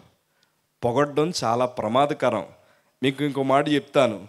మిమ్మల్ని ఎక్కువ పొగిడే వాళ్ళు ఎవరన్నా ఉన్నారనుకోండి నేను ఒక మాట చెప్తాను. వారే మీ పతనాన్ని కోరుకుంటున్నారు. మా టీచర్ గారు అన్నారు ఎంత బాగా వాయించవయ్యా. ఇన్నాళ్ళు ఏమైపోయావు? అని అడిగాడు ఆయన. ఎల్కేజీ నుంచి అదే స్కూల్లో చదువుతున్నాను. నాది ఇంచుమించు నా అడ్మిషన్ నెంబర్ ఆరు వందల ఇరవై నాలుగు. అంటే ఎల్కేజీ నుంచి అదే స్కూల్ అది నేను డప్పులు వాయిస్తానని ఎవరు నన్ను? అరే ఈడు బెంచ్ల మీద డప్పులు వాయించుకుంటాడని అందరికీ తెలుసు. కానీ నా తలాంతు ఎప్పుడు బయటకు వచ్చిందో తెలుసా? రక్షణ పొందిన తరువాత. ఈ రాత్రి మీకు సత్యం చెప్తాను. అయ్యా బాప్తీసం తీసుకున్న తరువాతే అసలైన ఆత్మీయ పోరాటం ప్రారంభించబడతాది. దాంట్లో మనం కరెక్ట్గా నిలబడితేనే ప్రభు ఇచ్చే నిజమైన ఆశీర్వాదాలు పొందుకోగలం. కానీ నేను నిలబడలేకపోయాను. ప్రభు లేఖనాలు సెలవిస్తాయి. పాపము వల్ల వచ్చు జీతము ఏమొస్తుందట? మరణం వస్తుందట. దీన్ని మనం చాలా లైట్ తీసుకుంటాం. ఎందుకు లైట్ తీసుకుంటాం తెలుసా? చిన్న తప్పు చేశాను ఏ శిక్ష రాలేదు. ఇంకా కొంచెం పెద్ద తప్పు చేశాను ఏ శిక్ష రాలేదు ఐఎమ్ వెరీ హ్యాపీ నేను సుఖంగానే ఉన్నాను. నా సీక్రెట్స్ మా ఇంట్లో వారికి తెలియదు నేను ఏం చేస్తున్నానో మా ఎవరికి తెలియదు ఇంకా దేవుడే దేవుడు ఎలాగో కనిపించరు కాబట్టి ఆయన ఏం చెప్పడు. మనకి ఏ సంబంధం లేదనుకొని లైట్ తీసుకుంటున్నాం. కానీ వాస్తవానికి మీకు మాట చెప్తాను. పాపానికి ఉండే ప్రత్యేకత ఏంటి తెలుసా? పాపానికి ఉండే ప్రత్యేకత ఏంటి తెలుసా? చేసే కొద్దీ ఇంకా చేయాలనిపిస్తుంది. దాచే కొద్దీ ఇంకా దాయాలనిపిస్తుంది. అనుభవించే కొద్దీ ఇంకా అనుభవించాలనిపిస్తుంది. కానీ మీకు మాట చెప్తాను. అది మనల్ని ఒక్కసారిగా పేక మేడలు కూలిపోతాయి చూసారా? అలా కూలిపోద్ది మన జీవితం. My dear brother and sister ఈ రాత్రి భయముతో నేను మాట చెప్తున్నాను. ఐదు నిమిషాలతో ప్రారంభమైన నా పాపపు జీవితం అది చూడ్డానికి పెద్దగా కనిపించలే నాకు. అరే చిన్నదే కదా ఐదు నిమిషాలే కదా అనుకున్నాను తప్ప ఆ ఐదు నిమిషాల పాట నా బ్రతుకుని ఎక్కడికి తీసుకెళ్తుందో నేను గ్రహించలేకపోయాను. చిన్నప్పుడు ప్రభు కోసం ప్రాణాలైనా ఇచ్చేయాలి అన్న ఆత్మీయ స్థితిలో బ్రతికిన నేను నా సొంత తల్లే నేను రెండు సంవత్సరాలు మా సొంత తల్లి ఉపవాసం ఉండి ఇటు చచ్చిపోతే బాగుండయ్యా అని ప్రార్థన చేసింది. ఐదు నిమిషాలతో ప్రారంభమైంది. మా స్కూల్ మ్యూజిక్ టీంలో నన్ను జాయిన్ చేసుకున్నారు. అన్ని కాంపిటీషన్లకి పంపించేవారు. చక్కగా ఎక్కడికి పోయినా విజయమే వచ్చేది. చివరాఖరికి నా స్థితి ఏమైపోయిందంటే మన ఆంధ్రప్రదేశ్ ఇంకా అప్పుడు విడిపోలే. మొత్తం సంపూర్ణంగా ఉండేది. నా స్కూల్ ఏజ్లోనే నేను రాష్ట్ర స్థాయి మూడో స్థానాన్ని సంపాదించుకున్నాను. స్టేట్ లెవెల్ మ్యూజిక్లో థర్డ్ ప్లేస్ వచ్చింది నాకు. మొదటిసారి మా స్కూల్కి న్యూస్ పేపర్లు వచ్చారు. ఎప్పుడు గుర్తింపు లేని నా ముఖాన్ని ఫోటో తీసుకొని న్యూస్ పేపర్లో వేశారు. మా టీం అందరినీ కలిపి అందులో చక్కగా చూపించారు. వారు మా స్కూల్ టీచర్ గారు న్యూస్లో మాట్లాడుతున్నాడు ఆయన. ఎంత చక్కగా ఉందో. అసలు ఆ పుస్తకంలో నా పేపర్లో పడిన ఫోటో ఉంటుంది చూసారా? దాన్ని కత్తిరించుకొని పుస్తకం లోపల కాదండి పుస్తకాల మీద అంటించుకున్నాను. ఎంత సంతోషమో. ఎప్పుడూ గుర్తించలేని మా స్కూల్ వారు ఇంత పెద్ద ట్రోఫీ ఒకటి తీసుకొచ్చి జోషి ప్రశాంత్ అని పిలవగానే ఎప్పుడు నా పేరు ఎవరో పిలవలేదయ్యా. మా స్కూల్లో మొదటిసారి నా పేరు పిలిచారు. చక్కగా ప్రైజ్ తీసుకుంటున్నప్పుడు నా మనస్సులో ఎంత సంతోషమో సంతోషం వచ్చినప్పుడు నా మనస్సు మారిపోయింది. అదేంటో తెలుసా? మనం దీవించబడాలంటే ఇంక చర్చికి వెళ్ళక్కర్లేదయ్యా. మనం దీవించబడాలంటే ఇంక ప్రార్థన అక్కర్లేదయ్యా. తలాంత ఉంది సరిపోద్ది నాకు టాలెంట్ ఉంది సరిపోద్ది అనుకొని ఆ రోజు ఎంత సంతోషపడ్డానో దానికి నేను పెట్టే మరొక పేరు ఏంటో తెలుసా? గర్వము. ప్రభు లేఖనాలు సెలవిస్తాయి. నాశనానికి ముందు ఏం నడుస్తుందట? గర్వము నడుస్తుంది. అయ్యా ఇక్కడ చాలామంది చెల్లెళ్ళు అన్నలు తమ్ముళ్ళు కుటుంబాలు ఉన్నాయి. మీకు మాట చెప్తాను. గర్వ మాట ఏంటో తెలుసా? ఎవడో చెప్పక్కర్లేదు నాకు అన్నీ తెలుసు. ఈ మాట చాలామంది అంటారు కదా? ఏమంటారు? మమ్మీ నీకేం తెలీదు? డాడీ నీకేం తెలీదు. అరే అన్నీ నాకే తెలుసు అనుకుంటాం చూసారా? అదే మన పతనానికి పునాది. చదువుకుంటూ చదువుకుంటూ పదో తరగతికి వచ్చేసరికి అసలు నా పేరే తెలియని మా స్కూల్లో ఈసారి ఎల్కేజీ పిల్లని అడిగిన జోషి ప్రశాంత్ తెలుసా? అని అడిగితే మా స్కూల్లో అదిగో అన్న అదిగో అని నన్ను చూపించేవారు. ఎంత సంతోషమో. పదో తరగతికి వచ్చేసరికి అండి నాకు చదువు తప్ప అన్నట్లో ముందుండేవాడిని క్లుప్తంగా చెప్తా మీకు మా ఈస్ట్ గోదావరికి under fifteen under sixteen cricket vice కెప్టెన్గా చేశాను నేను. గేమ్స్ చాలా బాగా ఆడతాను. చాలా చక్కటి తలాంతులు దేవుడు ఇచ్చాడు మా స్కూల్లో అత్తమాటలు గ్రౌండ్కి వెళ్ళిపోతున్నానని మా అమ్మగారికి ఏమో నేను సేవకుడు అవ్వాలని ఇడు ఫెయిల్ అయిపోతాడేమో పదో తరగతి ఫెయిల్ అయిపోతే దేవుడి నామానికి అవమానం వస్తుందని మా ఇంట్లో వాళ్ళు అప్పు చేసి మరి ఏసీ హాస్టల్లో జాయిన్ చేశారు. మా స్కూల్లో అన్ని రాష్ట్రాల నుండి అనేక మంది వచ్చి చదువుకునేవారు. హాస్టల్కి వెళ్ళాక నాకు చాలా కొత్త స్నేహితులు పరిచయం అయ్యారు. నా స్నేహితులు ఎట్లాంటి వాళ్ళు అంటే ప్రస్తుతం నాతో చదివిన నా స్నేహితులు కొంతమంది మొన్నటి వరకు కొంతమంది కార్పొరేటర్లుగా పనిచేశారండి. రీసెంట్గానే ఎలక్షన్ రాకముందు వరకు కొంతమంది కార్పొరేటర్లుగా పనిచేశారు. జడ్పీటీసీలు చాలామంది మా స్నేహితులు ఉన్నారు. నాతో చదివిన కొంతమంది నా సీనియర్సు ప్రస్తుతానికి ఇప్పుడు రిజల్ట్ వచ్చాక వారి పరిస్థితి ఏంటో ఇప్పుడు తెలుస్తుంది కొంతమంది మన రాష్ట్రమే కాదు వేరే దేశాల్లో కూడా హాస్పిటల్స్ కట్టుకున్న నా స్నేహితులు ఉన్నారండి. ఇక్కడే కాదు చాలా మా కాకినాడలో కానీ హైదరాబాద్లో కానీ సాఫ్ట్వేర్ కంపెనీలు నడిపిస్తున్న నా స్నేహితులు బాగా ఉన్నారు. కుబేర్లు అనమాట పెట్రోల్ బంకులని చాలా విషయాల్లో మంచి స్థిరపడిన వారు. ఇంకొకటి ఏంటంటే మనం చెన్నై వెళ్ళాం అనుకోండి చెన్నైలో మనకి అడ్వర్టైజ్మెంట్లో కొంతమంది హీరోలు కొంతమంది ఇట్లాంటి వాళ్ళు కనిపిస్తారు. అందులో కొంతమంది నా సీనియర్లు నాతో కలిసి చదువుకున్నవారు కొంతమంది ఉన్నారండి. అంతెందుకు ఇప్పుడు మనం సెల్ ఫోన్లో కొంతమంది మీరు సినిమాలు చూస్తారుగా కొంతమంది మీరు చూడలేరండి కొంతమంది చూస్తారుగా. ఈ నెట్ఫ్లిక్స్ తర్వాత ఆహా యాప్స్లో కొంతమంది అడ్వర్టైజ్మెంట్లు తీసేవాళ్ళు నా స్నేహితులు ఉన్నారండి ప్రొడ్యూసర్లు అట్లాంటి వాళ్ళు కానీ మీకు మాట చెప్తాను వారందరూ బాగా స్థిరపడినోళ్ళు. మీరు అనుకోవచ్చు వాళ్ళందరూ అలా ఉన్నారు కదా మీరేం చేస్తున్నారయ్యా అని. మీకు మాట చెప్పిన? వాళ్ళందరూ లోకాన్ని అనుభవిస్తుంటే నేను లోకరక్షకుని అనుభవిస్తున్నాను. దేవునికి స్తోత్రం కలుగునిగాక. హలలుయా ఈ రాత్రి నేను ఎందుకు ఈ మాట అంతా చెప్తున్నానంటే మీరు అనుకోవచ్చు మరి ఎంతకీ అన్నయ్యం చదువుకున్నాడని. అయ్యా నాది రాజమండ్రి జిఎస్ఎల్ మెడికల్ కాలేజ్ ఉంది కదా. రాజమండ్రి హైవే మీద పోతే మన ఇండియాలోనే టాప్ ఫిఫ్టీన్ మెడికల్ కాలేజెస్లో జిఎస్ఎల్ మెడికల్ కాలేజ్లో నేను ఒక స్టూడెంట్ని మెడికో స్టూడెంట్ని. కానీ ప్రభు సేవలోకి వచ్చాక సమస్తాన్ని విడిచిపెట్టి దేవుడి దగ్గరికి వచ్చాను. సమస్తాన్ని విడిచిపెట్టి దేవుడి దగ్గరికి వచ్చాక అన్ని నష్టపోయానని మీరు అనుకుంటారేమో. మీకు మాట చెప్పనా? నేను విడిచిపెట్టిన దానికన్నా నాలుగంతలు దేవుడు నన్ను ఆశీర్వదించాడు. దేవునికి స్తోత్రం కలుగునిగాక ఈ రాత్రి మాట అంతా ఎందుకు చెప్తున్నానంటే దేవుణ్ణి పట్టుకుంటే చాలు. మన జీవితాలు మారతాయి. పదో తరగతికి వచ్చాక నా స్నేహితులు నా బ్రతుకుని మార్చారు. ఆ బ్రతుకు ఎలా మార్చారంటే అంతా బాగుంది కానీ నన్ను ఎవ్వరూ ప్రేమించట్లేదని చెప్పారు నా స్నేహితులు. ఇది యవనస్తులకి కాదు కుటుంబాలకు కూడా వర్తిస్తాయి. మీకు అర్థమయ్యేలా చెప్తాను ఏ అమ్మాయి నన్ను ప్రేమించట్లేదని చెప్పారు. నన్ను ప్రేమించాలంటే నేను ఏం చేయాలయ్యా అని అడిగినప్పుడు మా స్నేహితుడు అన్నాడు నీ బట్టలు మార్చుకుంటే సరిపోద్దన్నాడు. ఏం మార్చుకుంటే? అందరికి వినిపిస్తుందండి ఏం మార్చుకుంటేనే బట్టలు మార్చుకుంటే సరిపోద్దన్నాడు. నాకు పుట్టినరోజుకి సంవత్సరానికి ఒకసారిగా పుట్టినరోజు చేసుకునేది మా అమ్మమ్మ గారు కొంటారు బట్టలు నాకు. అమ్మమ్మల టేస్ట్లు ఎట్లా ఉంటాయి తెలుసు కదా? చొక్కా ఓ రంగు అయితే ప్యాంట్ ఓ రంగు ఉండేది. గట్టిగా బిగిస్తే కానీ వారు తీసే వరకు వచ్చేది కాదు. నా జుట్టు బాగా ఒత్తుగా పెరిగేది. దానికి గల కారణం ఏంటంటే ఎక్కువ కొబ్బరి నూనె రాసేవారు నాకు. చాలా ఒత్తుగా ఉండేది అనమాట నా జుట్టు. ఇవన్నీ చూసి మా స్నేహితుడు అన్నాడు ఇలా కాదయ్యాను ఉండాల్సిందని మా స్నేహితుడు వాడి బట్టలు తీసుకొచ్చి నాకు వేసాడు. ఆ బట్టలు ఎట్లా ఉన్నాయంటే అందరూ బాగా వింటారని చెప్తున్నాను. మనం రోడ్డు మీద బండి మీద వెళ్ళిపోతున్నప్పుడు ఏ పందైనా అడ్డొచ్చింది అనుకోండి. అమ్మా ఏ పందైనా అడ్డొచ్చింది అనుకోండి. ఏం చేస్తాం బండి మీద నుంచి? చెప్పండి ఏం చేస్తాం? పడిపోతాం.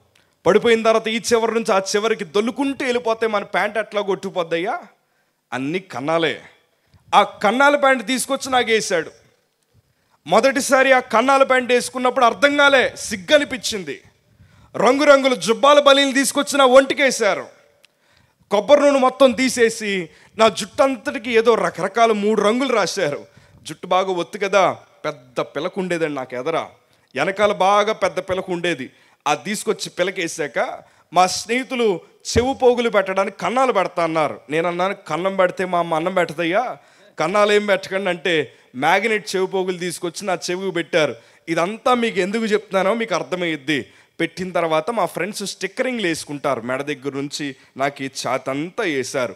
వేసిన తర్వాత అన్నారు ఒక ఇవన్నీ వేసుకున్నా కానీ షూ కూడా ఉంటే బాగుంటుంది అన్నారు నాకు మూడు వందల రూపాయల చెప్పులు అంటే ఎక్కువ అండి రెండు మూడు సంవత్సరాలు వాడుతున్న చెప్పుల్ని మా స్నేహితుడు ఆ షూ తీసుకొచ్చి ఇదిగోనయ్యా ఎనిమిది వేలు అని చెప్పి నేను అనుకున్నాను అమ్మో నాలుగు నెలలు మా ఇంట్లో వాళ్ళు బతకొచ్చా డబ్బులతో అనుకున్నాను. ఆ షూ వేసిన తర్వాత మంచి పొగడ్త చాలా బాగున్నామన్నారు కానీ ఆ బట్టలు చూసిన మా అమ్మ కుప్పకూలిపోయింది గుండెలు బాదుకొని ఏడ్చేసింది అయ్యా నువ్వు సేవకుడు అవుతావని నేను కష్టపడి చదివిస్తుంటే నీ బ్రతికింట ఎట్లా అయిపోయిందని ఏడ్చింది. ఈ రాత్రి మీకు సత్యం చెప్తాను. మన డ్రెస్సు మన ఆత్మీయ అడ్రస్ చెప్తుందండి. మన డ్రస్సు ఏం చెప్తుంది? మన ఆత్మీయ అడ్రస్ చెప్తుంది. ఇవాళ ధైర్యంగా సేవకుడిగా స్టేజ్ మీద నిలబడి మీకు సత్యం చెప్తానయ్యా. నా తల్లొద్దు అని పెట్టి పది సంవత్సరాలు అయ్యింది నా ముఖం మీద పౌడర్ రాసి పది సంవత్సరాలు అయింది జత బట్టలు ఇరవై నుంచి పాతిక వేలుక్కునే నేను. మా సంగబిడ్డలు తీసుకొచ్చి ఇదిగోనయ్యా ఓ రెండు వందల రూపాయలు చొక్కా వేసుకుంటావంటే చేతులు కట్టుకొని వేసుకునే పరిస్థితికి వచ్చాను. కొనుక్కోలేక కాదు. అయ్యా ఇవాళ దేవుడు నా వయస్సుకు మించిన దీవెనలు నాకు ఇచ్చిన ఏదైనా కొనుక్కోగలిగిన సామర్థ్యత ప్రభు నాకు ఇచ్చినా ఎందుకు కొనుక్కోవట్లేదు తెలుసా? అయ్యా మనకు విలువ. హెయిర్ స్టైల్ బట్టు పౌడర్ బట్టు బట్టలు బట్టు ఫోన్లు బట్టు కార్లు బట్టు బండ్లు బట్టు రాదు. మనకు విలువ ఎలా వస్తుంది తెలుసా? మన హృదయంలో నివసించు దేవుడే మనకు విలువనిస్తాడు. దేవునికి స్తోత్రం కలిగినగాక ఈ రాత్రి ఆ విలువ మనం సంపాదించుకోవాలి. దేవుడిచ్చే విలువను మనం పొందుకోవాలి. మా తల్లిదండ్రులకి నాకు అక్కడే వ్యతిరేకం ప్రారంభమైంది. నాకు లోకము నచ్చింది. వారికి లోకం నచ్చలే. గొడవలు వచ్చేసాయి. ఎంత గొడవలంటే నా ఇష్టం వచ్చినట్టు బ్రతుకుతా. నీకెందుకు? అన్న స్థితికి వచ్చేసాను. ఇది కాదు నా భక్తి జీవితం అసలు చెప్పాలంటే. ఎక్కువ మంది స్నేహితులు వచ్చేసారు. చిన్నప్పుడు ఒకడు కూడా నాతో సావాసం చేసేవారు కాదు. మీకు ఒక మాట నేను సేవలోకి వచ్చిన తర్వాత నా ఫోన్ బుక్ పక్కన పడేసాను ఫోన్ బుక్ అంటే ఏంటంటే బుక్ అంటే మీరు చిన్నది వాడతారు కదా ఫోన్ బుక్. నా ఫోన్ బుక్ రికార్డ్ బుక్ అంత ఉంటుంది. మన ఇంటర్మీడియట్లో రికార్డ్ బుక్ ఇస్తారు కదా. ఫేస్బుక్ ఇన్స్టాగ్రామ్ కాకుండా నా ఫోన్ నెంబర్ల సంఖ్య లెక్క పెడితే వంద కాదు రెండు వందలు కాదు కానీ సుమారు ఒక రెండు వేల ఆరు వందల మంది పైనే స్నేహితులు ఉండేవారు నాకు. చిన్నప్పుడు అడిగారు జోషి పెద్దయ్యకి ఏమవుతారు? అంటే ధైర్యంగా అందరి ముందర గుండెలు చరుచుకొని చెప్పాను. I want to be a politician నాకు రాజకీయవేత్త అవడం చాలా పిచ్చి. రెండు వేల పదమూడు మనకి తెలంగాణ పోరు వచ్చినప్పుడు ఈస్ట్ గోదావరి స్టూడెంట్ చేసి కన్వీనర్గా చేశాను నేను. నాతో పాటు చాలామంది పెద్ద పెద్దోళ్ళు చాలామంది సావాసం ఉండేవారు. నేను బైక్ ర్యాలీలు పెడితే మూడు వందల నుంచి ఆరు వందల బళ్ళు వచ్చేవి. పెట్రోల్ కొట్టించినా కొట్టించకపోయినా చాలా దౌర్జన్యంగా తిరగడం ప్రారంభించాను. చిన్నప్పుడు ఒకటి రెండు మూడు అని లెక్క పెడితేనే వణుకుపోయి మా ఇంటికి వచ్చే నేను ఈసారి మా తల్లిదండ్రులే నన్ను ఎన్నో ప్రాంతాల్లో వెతుక్కునే స్థితికి దిగజార్చేశాను. దిగజార్చడమే కాదు జాలిగా ఉండే నా మనస్సు. మంచి మనస్సు అండి నాది. ఎంత మంచి మనస్సు అంటే మా ఇంటికి చిన్నప్పుడు ఎవరు వచ్చినా గబగబలాడుతూ మా ఇంటి వెనకాలకి వెళ్ళి బడ్డీ కొట్లో పాలు ప్యాకెట్ తీసుకొచ్చేసి అందరికీ టీలు పెట్టేసేవాడిని. ఎంత చక్కటి మనసు అంటే నాది. పరిచర్య అంటే అమితమైన ప్రేమ నాకు. దేవుడంటే అమితమైన పిచ్చి. అలాగ బ్రతికే నేను నా నాలుగేళ్ళు మా ఇంట్లో వారి దవడల మీద అంటూ పోయేలా కొట్టడం ప్రారంభించాను. అందరి మధ్యన ప్రత్యేకంగా బ్రతకాలని మనస్సు మారిపోయి నా జీవితం ఎట్లా పోయిందంటే నా వేళ్ళ మీద ఎప్పటికీ స్టేషన్లో పెట్టి ఎట్లా కొట్టిన రోజులు కూడా ఉన్నాయి. మా బంధువులు నా వెనకాల నిలబడి ఒక మాట అన్నారు నువ్వు ఇష్టం ఏదైనా చేయరా మేము ఉన్నాం అని నన్ను ధైర్యపరిస్తే లోకాన్ని మెల్లిమెల్లిగా అనుభవించడం ప్రారంభించాక నా మనస్సు ఎలా అయిపోయిందంటే దేవుడు మమ్మల్ని ప్రేమించి వెయ్యి మంది పట్టగలిగిన బాల్కనీ చర్చ్ ఇచ్చాడు. మూడు నాలుగు బ్రాంచులు దేవుడు మాకు ఇస్తే ఆత్మీయంగా పెరగాల్సిన నా స్థితి ఏమైపోయిందంటే ఇంతింత సిగరెట్ పెట్టి కట్టలు తీసుకొచ్చి మా చర్చ్ బలిపేట మీద దాయడం ప్రారంభించాను అందరూ పాటలు పాడుతుంటే కీబోర్డ్లో సినిమా పాటలు వాయించడం ప్రారంభించాను మందిరం కింద జరుగుతుంటే పైన బాల్కనీకి పోయి నేను నా స్నేహితులు మందు తాగడం ప్రారంభించాం. సండే స్కూల్ పిల్లలకు పంచిపెట్టే బైబిల్స్ అయ్యా బైబిల్ కింద పెడితేనే నా ప్రాణం ఒప్పేది కాదు అలాంటిది సండే స్కూల్ బైబిల్ ఎట్లా కట్టకట్టగా మోసుకుపోయి రాజమండ్రి లాలాచెరు దగ్గర మాకు ఫ్లాట్ ఉండేది. అక్కడికి తీసుకెళ్ళిపోయి చలిమంట కాసుకోవడానికి బైబిల్ అన్నీ తగలబెట్టేసి ఆకాశం వైపు తిరిగి ఎట్లా చిటికేసి నువ్వు దేవుడివైతే నువ్వు దేవుడివైతే వర్షాన్ని పంప ఆపేయచ్చు కదా అని యేసు ప్రభుని ఎగతాళి చేయడం ప్రారంభించారు. పరిశుద్ధ గ్రంథంగా భావించే బైబిల్ని ఎట్లా మధ్య పేజ్ ఓపెన్ చేసి కాండ్రించి బైబిల్ మధ్యలో ఉమ్మేసి నువ్వు దేవుడువా? అని వెటకారం చేయడం ప్రారంభించాను. మనస్సంతా ఎట్లయిపోయిందంటే ఒక సినిమా పోస్టర్ చూస్తేనే ప్రభు సన్నిధికి వచ్చి బలిపీట మీద పడి ఏడ్చే నేను. నా స్థితి ఎక్కడికి పోయిందంటే మా చెల్లెళ్ళు వచ్చి అన్నయ్య నువ్వు కాలేజీలో మా అన్నయ్య అని చెప్పుకోవడానికి సిగ్గేస్తుందయ్యా అని అంటుంటే బ్లేడ్ తీసుకొని మా చిన్న చెల్లి చేయి కోసేసిన అన్నయ్యని నేను. మా ఇంట్లో ఎంత గొడవలంటే ఎంత గొడవలంటే అద్దాలు మంచాలు కిటికీలు అన్నీ పగిలిపోయి ఉండేవి. ఇట్లాంటి సభలు జరుగుతుంటే చివర కూర్చొని చెప్తున్న సేవకుడిని వెటకారం చేస్తూ వారు అమ్ముతున్న పాటల పుస్తకాల్లో బూతులు రాసి నేను నా స్నేహితులు పాడుకోవడం ప్రారంభించాం. నా సైలెన్సర్కి బండి సైలెన్సర్కి పెద్ద పెద్ద కన్నాలు ఉండేవి. సభ చుట్టూ సౌండ్ చేసుకుంటూ తిరిగి నా సైలెన్సర్కి ఇలా పెద్ద చైన్ ఒకటి కట్టి ఒక పొడుగాటి ఓసలాగా ఒకటి ఉండేది. ఒక ముప్పై నలభై కిలోమీటర్లు బండి మీద అలా తిరిగేసి ఆ సైలెన్సర్ దగ్గర ఉండే ఓసంతా వేడెక్కిపోయాక దాన్ని పట్టుకుని ఎవరి మీదకు పడితే వాడి మీదకు విసిరేసేవాడిని. ఖాళీ బీరు బాటిల్ పట్టుకొని ఒక్కొక్కడు బుర్రల మీద కొట్టుకుంటూ పోతూ ఎవ్వడూ మనల్ని ఏమీ చేయలేడయ్యా అని చాలా రుబాబుగా బ్రతకడం ప్రారంభించాను. ఇదివరకు దీనముగా బ్రతికే నా జీవితం ఇంకా అసలు చొక్కాలకి బొత్తాలు పెట్టేవాడిని కాదు. మా స్నేహితులు కార్లు తీసుకొస్తే ఆ కార్ల పైన కూర్చొని కాలు మీద కాలు వేసుకొని నా పుట్టినరోజులు వస్తే రోడ్డు నిండా ఫ్లెక్స్లే. జోషన్నయ్య వి లవ్ యూ జోషన్నయ్య యు ఆర్ గ్రేట్ అని పెద్ద పెద్ద క్యాప్షన్లు పెట్టి నా పుట్టినరోజుకి ఫ్లెక్స్లు వేస్తూ ఉంటే దాన్ని చూసి తెగ మురిసిపోయి దేవుని ప్రేమకు దూరం అయిపోయిన. ఒక అల్ప జ్ఞాని నన్ను చెప్పాలో తెలియదు కానీ నా అంత పాపి ఇంకొకడు ఉండడేమో. ఎంత మనస్సు చెడ్డదైపోయిందంటే మా కాలేజీలో మెడికల్ కాలేజీలో అందరూ భోజనం చేయడానికి డైనింగ్ హాల్లో కూర్చొని భోజనం చేస్తే స్పెషల్గా కనిపించాలని నేను నా స్నేహితుడు మార్చరీ రూమ్కి వెళ్ళి భోజనం చేసేవాళ్ళం. ఆ పైన బల్ల మీద శవం ఉండేది. ప్రాక్టికల్స్లో శవం ఎట్లా ఉంటుందంటే నిండుగా ఉండదు అది. కొంతమంది చేతులు కాళ్ళు అవన్నీ కోసేసి సెపరేట్ చేసి ఉంటాయి. వాటి మధ్యన కూర్చొని భోజనం చేస్తూ మా టీచర్ గారు అగో చేతులు పట్టారా? అదిగో తల పట్టారా అంటే నా చేతులతో గ్లౌలు ఏమీ వేసుకోకుండా ఆ శవాలు మోసిన వాడిని నేను. అంతెందుకు మా తల్లిగారు ఆ చివర కూర్చుంది. నేనేం చేశానంటే నిజమైన మనిషి ఎముకలు దొంగతనం చేసి మా కాలేజీల్లో నా బ్యాగ్లో పెట్టుకుని మా ఇంటికి తీసుకొచ్చేస్తే వారు రోజుల వరకు మా ఇంట్లో శవాల కంపు వదలలేదు. స్పెషల్గా కనిపించాలి. చిన్నప్పుడు నా బ్రతికిది కాదు. ఇదంతా మీకు ఎందుకు చెప్తున్నానంటే నా రెండు చేతులు జోడించి చిన్న పాపమని వదిలేస్తే నీ బ్రతుకుని ఎక్కడికో తీసుకెళ్ళిపోద్ది. చెల్లెళ్ళు అన్నలు జాగ్రత్త. పాపం ఈవేళ దాయగలివేమో కానీ దానివల్ల వచ్చే శిక్ష నుండి తప్పించుకోలేం. ఎందుకో తెలుసా? నాకు తెలుసు దేవుడు ఎట్లాంటాడు. ఆయన కింద ఉన్న వాడిని పైన కూర్చోబెట్టగలడు. ఆ పైన కూర్చున్న వాడిని కిందకి తీసుకొచ్చేస్తాడు. నా పరిస్థితి ఎలా ఉండదంటే ఇంక మళ్ళీ ఎవడు ఏం చేయలేడు. మా అమ్మ దగ్గర ఎట్లా చిటికేసనే వాడిని నీకు డబ్బులు తీసుకొచ్చి నీ మొక్క మీద విసిరేస్తాను మనం సేవ ఆపేయాలి. యేసు ప్రభు దేవుడు కాదని ప్రకటించాలి మనం. అని నేను ఎట్లా చెప్తా ఉంటే మా అమ్మ అసలు షాక్ అయిపోతుంది. అయ్యా ఏందయ్యా నిన్ను కడుపులో ఉన్నప్పుడే సమర్పించానయ్యా ప్రభుకని. మా అమ్మ ఏడుస్తూనే ఉండేది. అది మా పరిస్థితి.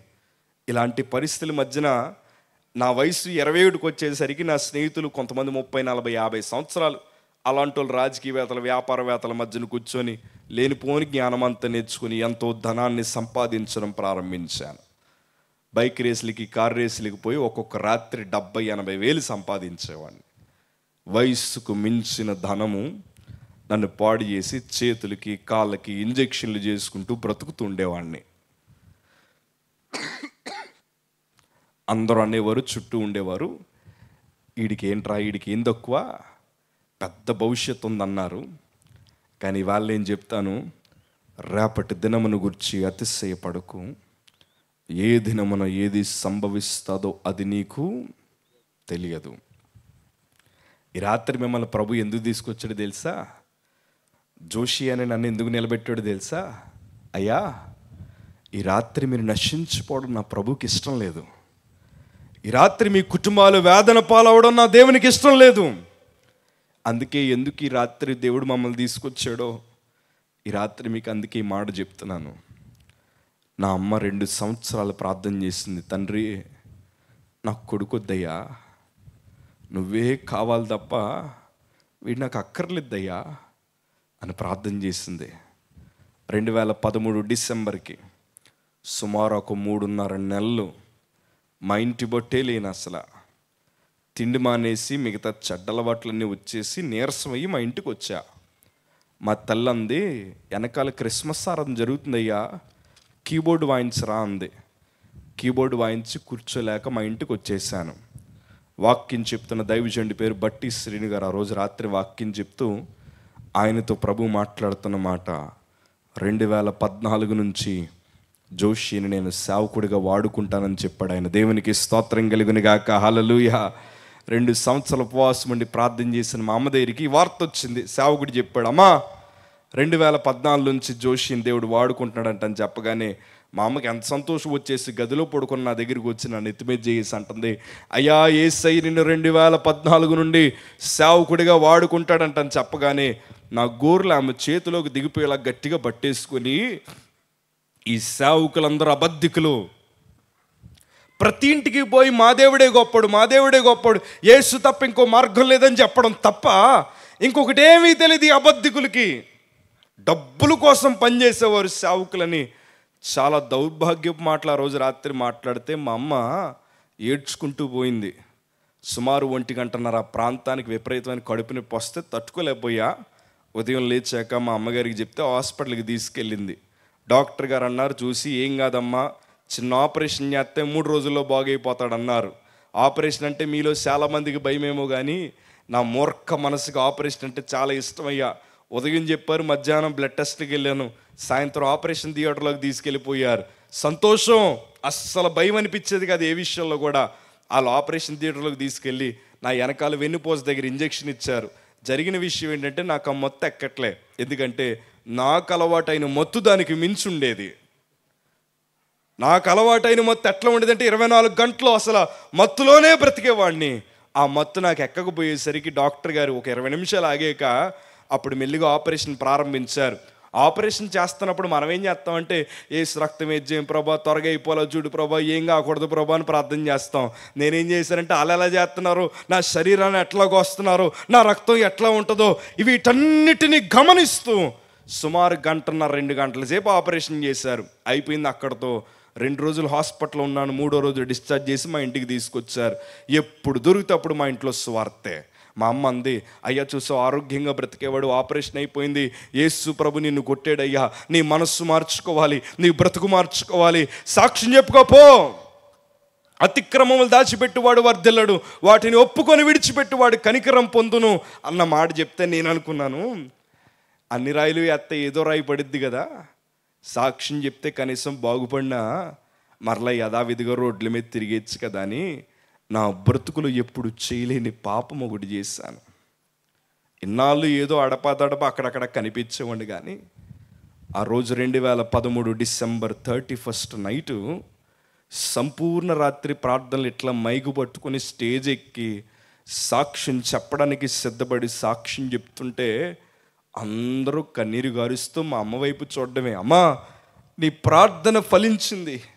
నీ కొడుకు ఆపరేషన్ అయితే అయింది కానీ సావుకుడిగా మారిపోయాడు అని వాళ్ళందరూ నమ్ముతున్నారు కానీ వాస్తవానికి నేను చెప్తుంది అబద్ధ సాక్ష్యం. అబద్ధం అని ఎందుకన్నానంటే పెదవుల్లోంచి వస్తుంది కానీ ఎక్కడి నుంచి రావట్లేదు?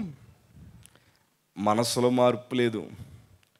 ఆ రోజు రాత్రి ఎన్నో మార్లు అవకాశం ఇచ్చిన దేవాది దేవుడు బలిపెట్టి మీద ఉండగానే నా చేతులను ప్రభు వదిలేశారు. నాకు చాలా ప్రమాదాలు జరిగాయండి. లారీ వెనకాల టైర్ నా చెవు పక్క నుండి వెళ్ళిన రోజులు ఉన్నాయి. నా చేతి మీద ఇక్కడ రౌండ్ రౌండ్ గాయాలు ఉంటాయి. రాయిలు లోపలికి పోయినా ఇట్లా నోటుతో పాటు తీసేసేవాడిని రాయిలు. అంత మూర్ఖంగా బ్రతికేవాడిని.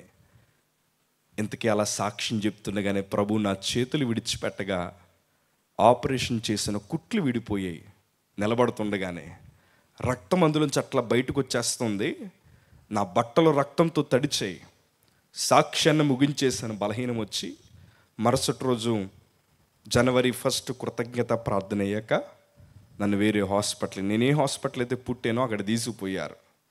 తీసుకెళ్ళాక డాక్టర్ గారు పుండు చూసి అన్నాడు అమ్మా చిన్నదే ఏం కంగారు పడద్దు.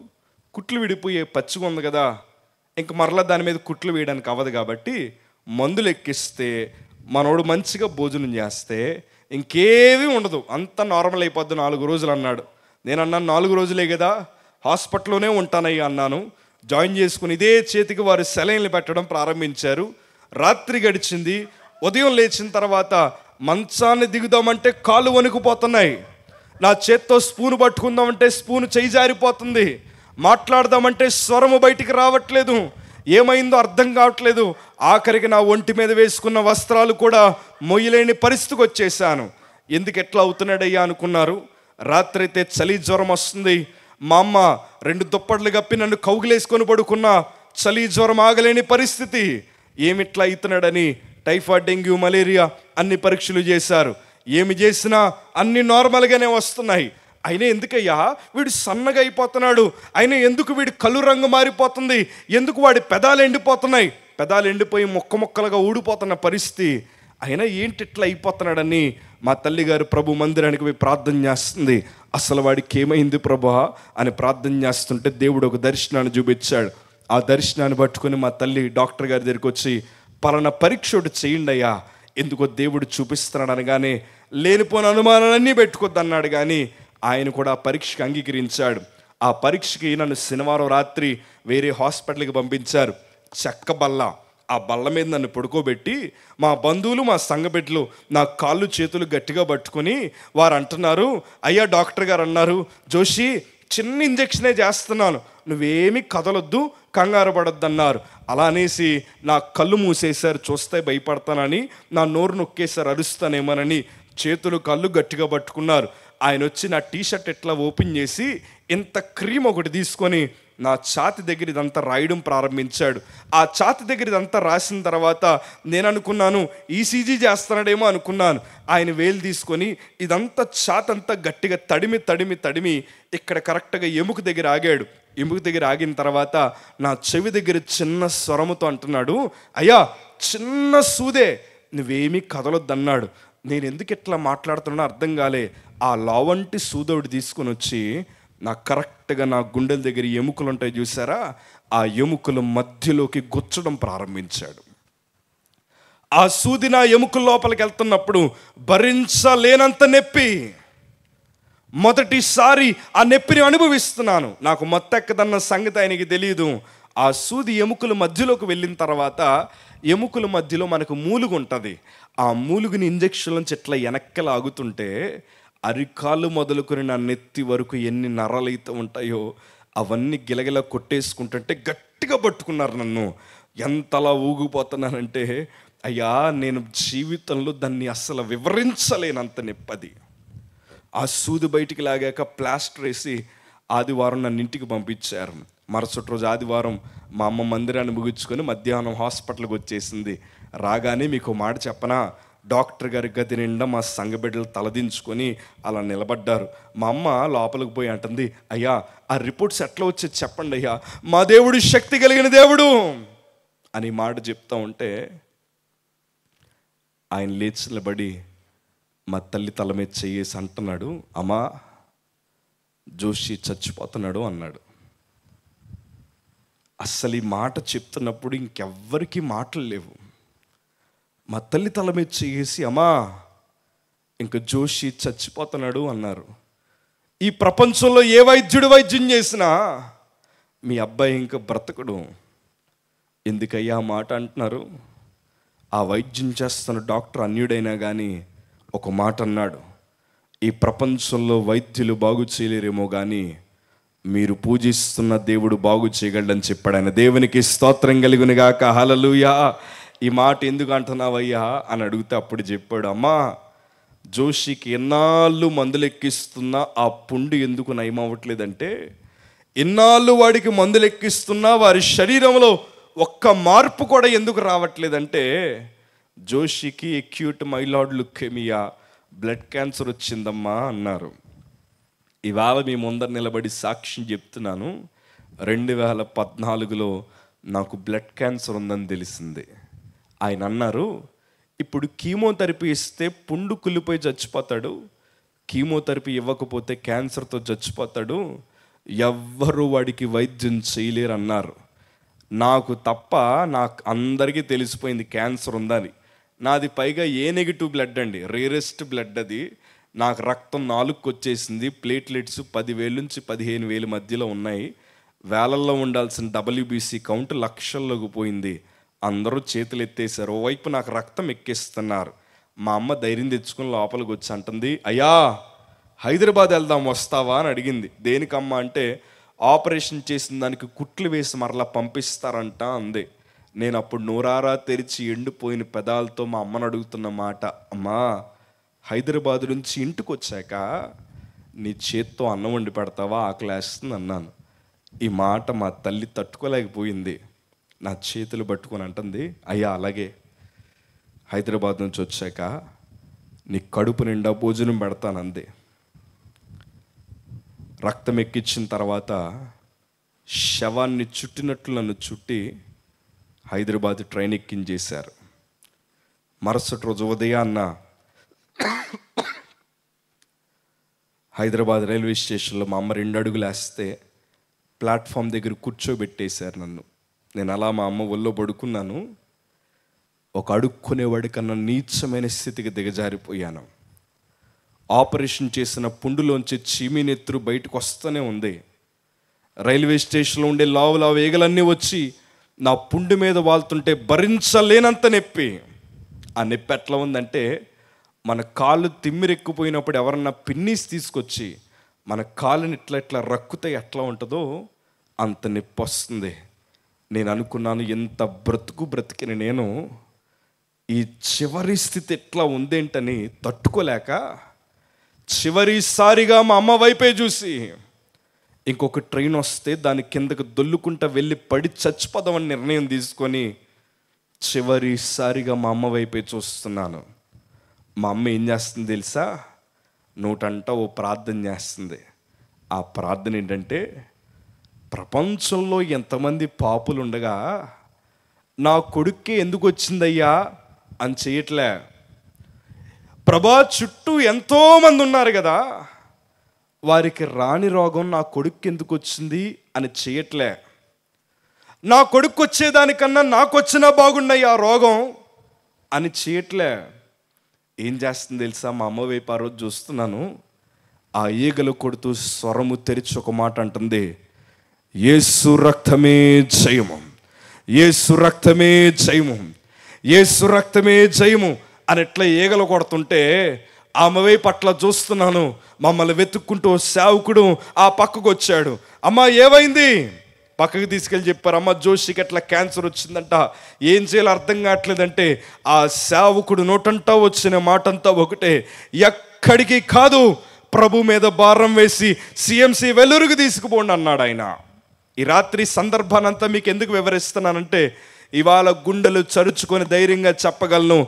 కన్నీరు గార్చే కుటుంబాలని ఆయన ఒంటరిగా విడిచిపెట్టే దేవుడు కాదాయన బిగ్గరగా చప్పలు కొడుతూ ప్రభునామాన్ని మహిమపరుద్దాం. కన్నీరు గార్చే వారిని ఒంటరిగా విడిచిపెట్టే దేవుడు కాదాయన ఆ రోజు నేను గమనించిందంతా ఒకటే. దేవుడు తన ప్రజల గమ్యాలని మార్చగలిగిన దేవుడు. ఈరోజు రాత్రి నేను అంటాను ఆనాడు ఒక సేవకుడు మా దగ్గరికి వచ్చి మా గమ్యాన్ని మార్చినట్లే ఒక రెండు రోజుల నుంచి ఇది మూడో రోజు రేపు నాలుగో రోజు. ఈ నాలుగు రోజులు జరుగుతున్న సభలో దైవ సేవకుల్ని ప్రభు పంపడం గల కారణం ఏంటో తెలుసా? మీ గమ్యాలు మార్చడానికి దేవుడు ఇష్టపడుతున్నాడు. దేవునికి స్తోత్రం కలుగునుగాక ఆయన ఎవరి గమ్యాలు మారుస్తున్నాడో నాకు తెలియదు కానీ ఒక్కటి చెప్పగలను. అది నువ్వే అయితే నువ్వు చాలా ధన్యుడివి. ఆ గమ్యము మార్చుకోగలిగింది నువ్వే అయితే నీ అంత బలవంతుడి ప్రపంచంలో ఎవడలేడు ఆ రోజు దేవుడు వచ్చి మా గమ్యాన్ని మార్చాడు. అట్లా శవంలాగా లేచి కూర్చోబెట్టి కారు కట్టించి జనవరి పద జనవరి పదమూడు రెండు వేల పద్నాలుగు సిఎంసి వెల్లూరుకి రాత్రి చేరాను. ఈ మధ్యలో నా స్థితి ఎట్లా ఉందంటే తిండికి కరువాసిపోయి మా అమ్మ చపాతీ తింటాం ఉంటే ఆమె వైపు చూసి అంటున్నాను చిన్న ముక్క నా నాలుగు మీద పెట్టవా? అన్నాను. మా అమ్మ వెనక్కుపోయి ఏడ్చేస్తుంది కొడుక్కు పెట్టుకోలేని స్థితిలోకి వచ్చేసానయ్యా అని కానీ ఆకలి మనం చెప్తే ఆగదుగా. ఆమె తింటున్నప్పుడు చపాతీ పొడి నా మొక్క మీద రాలితే అప్పటికే స్నానం చేసి పది పదిహేను రోజులు అయింది ఆ చపాతీ పొడిని ఇట్లా నలుపుకుంటే ఇంత మట్టి వచ్చింది. ఆ మట్టిని నా నాలుగు కింద పెట్టి ఆకలి తీర్చుకున్నాను. అది నా స్థితి. సిఎంసి వెల్లూరుకి వెళ్ళాక ఎమర్జెన్సీ వార్డులోకి తీసుకెళ్ళి చెప్పాను కదా వస్త్రాలని పిచ్చి పిచ్చిగా ప్రేమించేవాడిని. బ్రాండెడ్ వస్త్రాలు లేకపోతే బయటకు వచ్చేవాడిని కాదు. ఆ రోజు ప్రభు నా బ్రతుకుని ఏం చేశారంటే ఆడపిల్లలందరూ వచ్చి నా ఒంటి మీద ఉండే వస్త్రాలన్నీ తీసేస్తే నగ్నంగా మంచమే పడుకున్నాను నేను. సిగ్గు విడిచి ఎందుకు చెప్తున్నానంటే ఇవాళ స్థితి మీ ఎవరికి రాకూడదని. డాక్టర్లు నర్సులు గబగబ వచ్చి ఒక వైపుకి తిప్పితే మంచం మీద నుంచి పడిపోతానేమోనని నా రెండు చేతులతో మంచం కోడ్లు పట్టుకుంటే నాకు మొత్తెక్కదన్న సంగతి వారికి తెలియదు ఇక్కడ ఎముకలైతే కొంచెం మెత్తగా ఉంటాయి. రెండు లావు వంటి సూదులు తీసుకొచ్చి నా వెనకాల ఎముకలోకి పొడిచి మూలుగు బయటికి లాగుతూ ఉంటే అరిచిన అరుపు బయటికి రావట్లేదు. ఏడుస్తున్న కన్నీరు చుక్క బయటికి రావట్లేదు. ఒంటరిగా మిగిలిపోయిన బ్రతుకైపోయింది నాది. నేను అరిచిన కేకంతా ఒకటే. ఈ పరీక్షలు చేసే కన్నా మా ఇంటికి తీసుకుపోతే అక్కడ పడి చచ్చిపోతానని. డాక్టర్ గారు రిపోర్ట్లు చూసి అన్నారు మీరు యాభై అరవై లక్షలు ఖర్చు పెట్టిన సర్వసాధారణమైన కుటుంబం మాది. యాభై అరవై లక్షలు ఖర్చు పెట్టినా మీ అబ్బాయి బ్రతకడనేసారు కానీ మనకుండే ధైర్యం ఏంటో తెలుసా? మనందరికీ ఉండే ధైర్యం ఏంటో తెలుసా? మనుషులకు అసాధ్యమేమో వైద్యులకు అసాధ్యమేమో కానీ మేము పూజిస్తున్న దేవునికి సమస్తము సాధ్యమే. హాలూయా ఆ మాటను పట్టుకొని మా వాళ్ళు అన్నారు మీరు జాయిన్ చేయండి మా ప్రభు కార్యం చేస్తాడని కొంతమంది అన్నారు ఆఖరు కోరికలు తీర్చేయమన్నారు. మీరే కనుక నా దగ్గరికి వచ్చి అన్నా నీ ఆఖరి కోరిక ఏంటో చెప్ప అంటే మీ ఇంట్లో మిగిలిపోయిన ఎంగిలి మెతుకులైన తీసుకొచ్చి నా చేతిలో పెడితే కడుపు నిండా భోంచేసి నొప్పి తెలియకుండా విషమిచ్చి చంపేయమని బ్రతమాలుకుంటాను. అది నా చివరి స్థితి కోరిక. నన్ను సిఎంసి ఏ వార్డ్ ఎనిమిదో ఫ్లోర్లో జాయిన్ చేశారు. నాకు క్యాన్సర్ అన్నప్పటికే తెలియదయ్యా నా స్థితి ఎట్లయిపోయిందంటే డాక్టర్లు వచ్చి మరుసటి రోజు అప్పుడు చెప్పారు. నా పేరు చూసి మా అమ్మ ఏడ్ చేస్తుంది వీడు స్వార్థికుడు అయ్యి మంచి మినిస్ట్రీ చేస్తే వీడి పేరు టీవీలో చూడాలనుకున్నా సభల్లో చూడాలనుకున్నా వేరు వేరు ప్రాంతాల్లో చూడాలనుకున్నా కానీ క్యాన్సర్ వార్డులో ఉందేంటయ్యా అని ఏడ్చింది మా అమ్మ. ఆ స్థితిగతుల మధ్యన మరుసటి రోజు వైద్యులు వచ్చి అప్పుడు నాకు చెప్పారు జోషి నీకు క్యాన్సర్ వచ్చింది అన్నారు. ఎప్పుడన్నా ఈ వార్త వింటామని అనుకుంటాం మనం? చెప్పండి అమ్మా ఎప్పుడన్నా అనుకుంటామా? ఈ మాట చెప్పగానే భయం వేసిందయ్యా మీకు ఈ మాట చెప్పాను కదా. నేను యహోవ యొద్ద విచారణ చేయగా నాకు కలిగి ఉన్న భయం ఏంటో తెలుసా? చచ్చిపోతే నా గమ్యం ఏంటి? నేను చచ్చిపోతే డాక్టర్లకి ఎట్లాంటి సంబంధం లేదని సంతకం పెట్టిన చేతులు ఇవి జూనియర్ డాక్టర్లు నా మీద మందులు ప్రయోగించుకోవడానికి నా శరీరాన్ని ఇచ్చేసిన చేతులు ఇవి నా బ్రతుకు అట్లా అయిపోయి మంచం మీద పడి అలాగ ఆకాశ వైపు చూసి ఏడుస్తున్నాను. నేను చచ్చిపోతే నా ముఖం ఎట్లా అయ్యిద్దయ్యా నేను చచ్చిపోతే మా ఇంటికి పోతే నా శవం మీద మా సంఘ పడేడుస్తారా? మా స్నేహితులు నా మీద పడేడుస్తారా? నన్ను సమాధి దగ్గరికి తీసుకెళ్తున్నప్పుడు ఎంతమంది వెనకాల వస్తారు? ఇవన్నీ జ్ఞాపకం చేసుకుని ఏడుస్తూ నా ఫోన్ చూసుకున్నాను. నా ఫోన్ చూసేసరికి ఏ స్నేహితుల కోసమైతే ఒక ఐదు నిమిషాలు పాపం చేశాను ఈరోజు చివరికి వచ్చేసరికి ఒక్క స్నేహితుడు కూడా అన్నా నువ్వు ఎలా ఉన్నావు? అని అడిగేవాడు లేకపోయే. ఒంటరితనమేంటో నేను చూసా. వైద్యులు వచ్చి మరుసటి రోజు వైద్యం చేయడానికి సిద్ధపడుతున్న తరుణాల్లో మా అమ్మ గదిలోకి వచ్చిందయ్యా నేను మా అమ్మకి నాకు ఇష్టమైన ఫోటో చూపించి ఏడుస్తున్నా. అమ్మా నేను చచ్చాక ఈ ఫోటో నువ్వు ఫ్రేమ్ చేయించి ఇంట్లో వేయించమ్మా. యాభై అరవై లక్షలంటే అప్పుల పాలైపోతాం. చెల్లులు ఉన్నారు వెనకాల. నాకేమీ ఖర్చు పెట్టద్దు ఇంటికి తీసుకెళ్ళిపోతే అక్కడే పడి చచ్చిపోతానమ్మా అని ఏడుస్తున్నాం. తల్లి కొడుకులు ఇద్దరం చేతులు పట్టుకుని ఏడుస్తున్నాం. ఈ స్థితి ఇక్కడ కూర్చున్న ఏ కుటుంబానికి రాకూడదయ్యా. అయ్యా ఈ రాత్రి మీరు గమ్యాలు మార్చబడాలి. ఆ పరిస్థితుల మధ్యలో ఒంటరిగా మిగిలిపోతే ఏ బైబిల్ అయితే నేను అంటించేశానో అలాంటి చిన్న బైబిల్ ఆ పక్కన అలమారలో ఉంది సిఎంసి వెల్లూరులో. ఆ తెలుగు బైబిల్ తీసుకొచ్చి నా చేతిలో పెట్టింది మా అమ్మ. ఈ స్వార్థ చెప్పి నేను ముగిస్తా. ఆ చేతిలో పెట్టి మా అమ్మ అంటుంది అయ్యా చాలా మనతో సహవాసం చేసావు కదయ్యా. ఈ ఒక్కసారి నా మాటిను ఈ ఒక్కసారి యేసు ప్రభుతో సహవాసం చెయ్యయ్యా అంది. ఎప్పుడో ఏడో తరగతిలో మర్చిపోయిన నా భక్తి జీవితం. ఎప్పుడో ఏడో తరగతిలో పాపం చేశాక నా భక్తి అంతా మర్చిపోయాను. ఇప్పుడు ఎట్లా ప్రార్థన చేయాలి? ఏసైనా ఏమని అడగాలో తెలియక ఆ బైబిల్ని నా గుండెలకు హత్తుకొని ప్రార్థన చేయడం ప్రారంభించాను. ఆ ప్రార్థన ఏంటి తెలుసా? ఇక్కడ ప్లాస్టర్ వేస్తుంది నాకు అప్పటికే విపరీతమైన మంట. ఆ గుండెల మీద ఇట్లా పెట్టుకొని ఏడుస్తూ అంటున్నాను ఏసయ్యా నేను పుట్టక ముందే మా ఇంట్లో వారికి నన్ను ఇస్తున్నామని చెప్పావంట కదయ్యా. నా పాపాల నిమిత్తం రక్తం గార్చిన దేవుడు కదయ్యా. అయ్యా నువ్వు నిజంగా దేవుడు అయితే అయ్యా నువ్వు నిజంగా ప్రభు అయితే నాతో మాట్లాడొచ్చు కదా అని ప్రార్థన చేస్తున్నాను. ఆ ప్రార్థన పెదవుల్లోంచి అదిసారి ఆ ప్రార్థన నా హృదయ లోతుల్లోంచి వస్తుంది అలా ప్రార్థన చేస్తుండగానే చేస్తుండగానే ఆ రూమ్ నిండా దేవుని శక్తి చేత నింపబడింది. దేవునికి స్తోత్రం కలుగునుగాక మొదటిసారి దేవుని అనుభవాలు నాకు వచ్చాయి.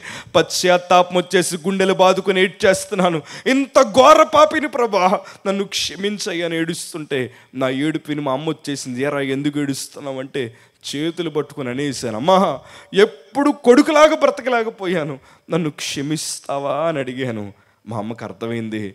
ఇప్పుడు రాని మాట వీడి నోటంట వస్తుందంటే ఎప్పుడు అనుభవించలేని అనుభవాన్ని వీరు అనుభవిస్తున్నాడని అర్థమైంది. హాలల్లుయా. అప్పుడు మా అమ్మ అందే మేము మనుషులవయ్యా మేము క్షమించినా క్షమించకపోయినా పర్వాలేదు కానీ యేసు ప్రభువే నిన్ను క్షమిస్తే. నువ్వు చచ్చినా మరలా తిరిగి బ్రతికించగలిగిన సమర్థుడని చెప్పారు. గట్టిగా చప్పలు కొడుతూ దేవుని నామానికి మహిమ చెల్లిద్దాం.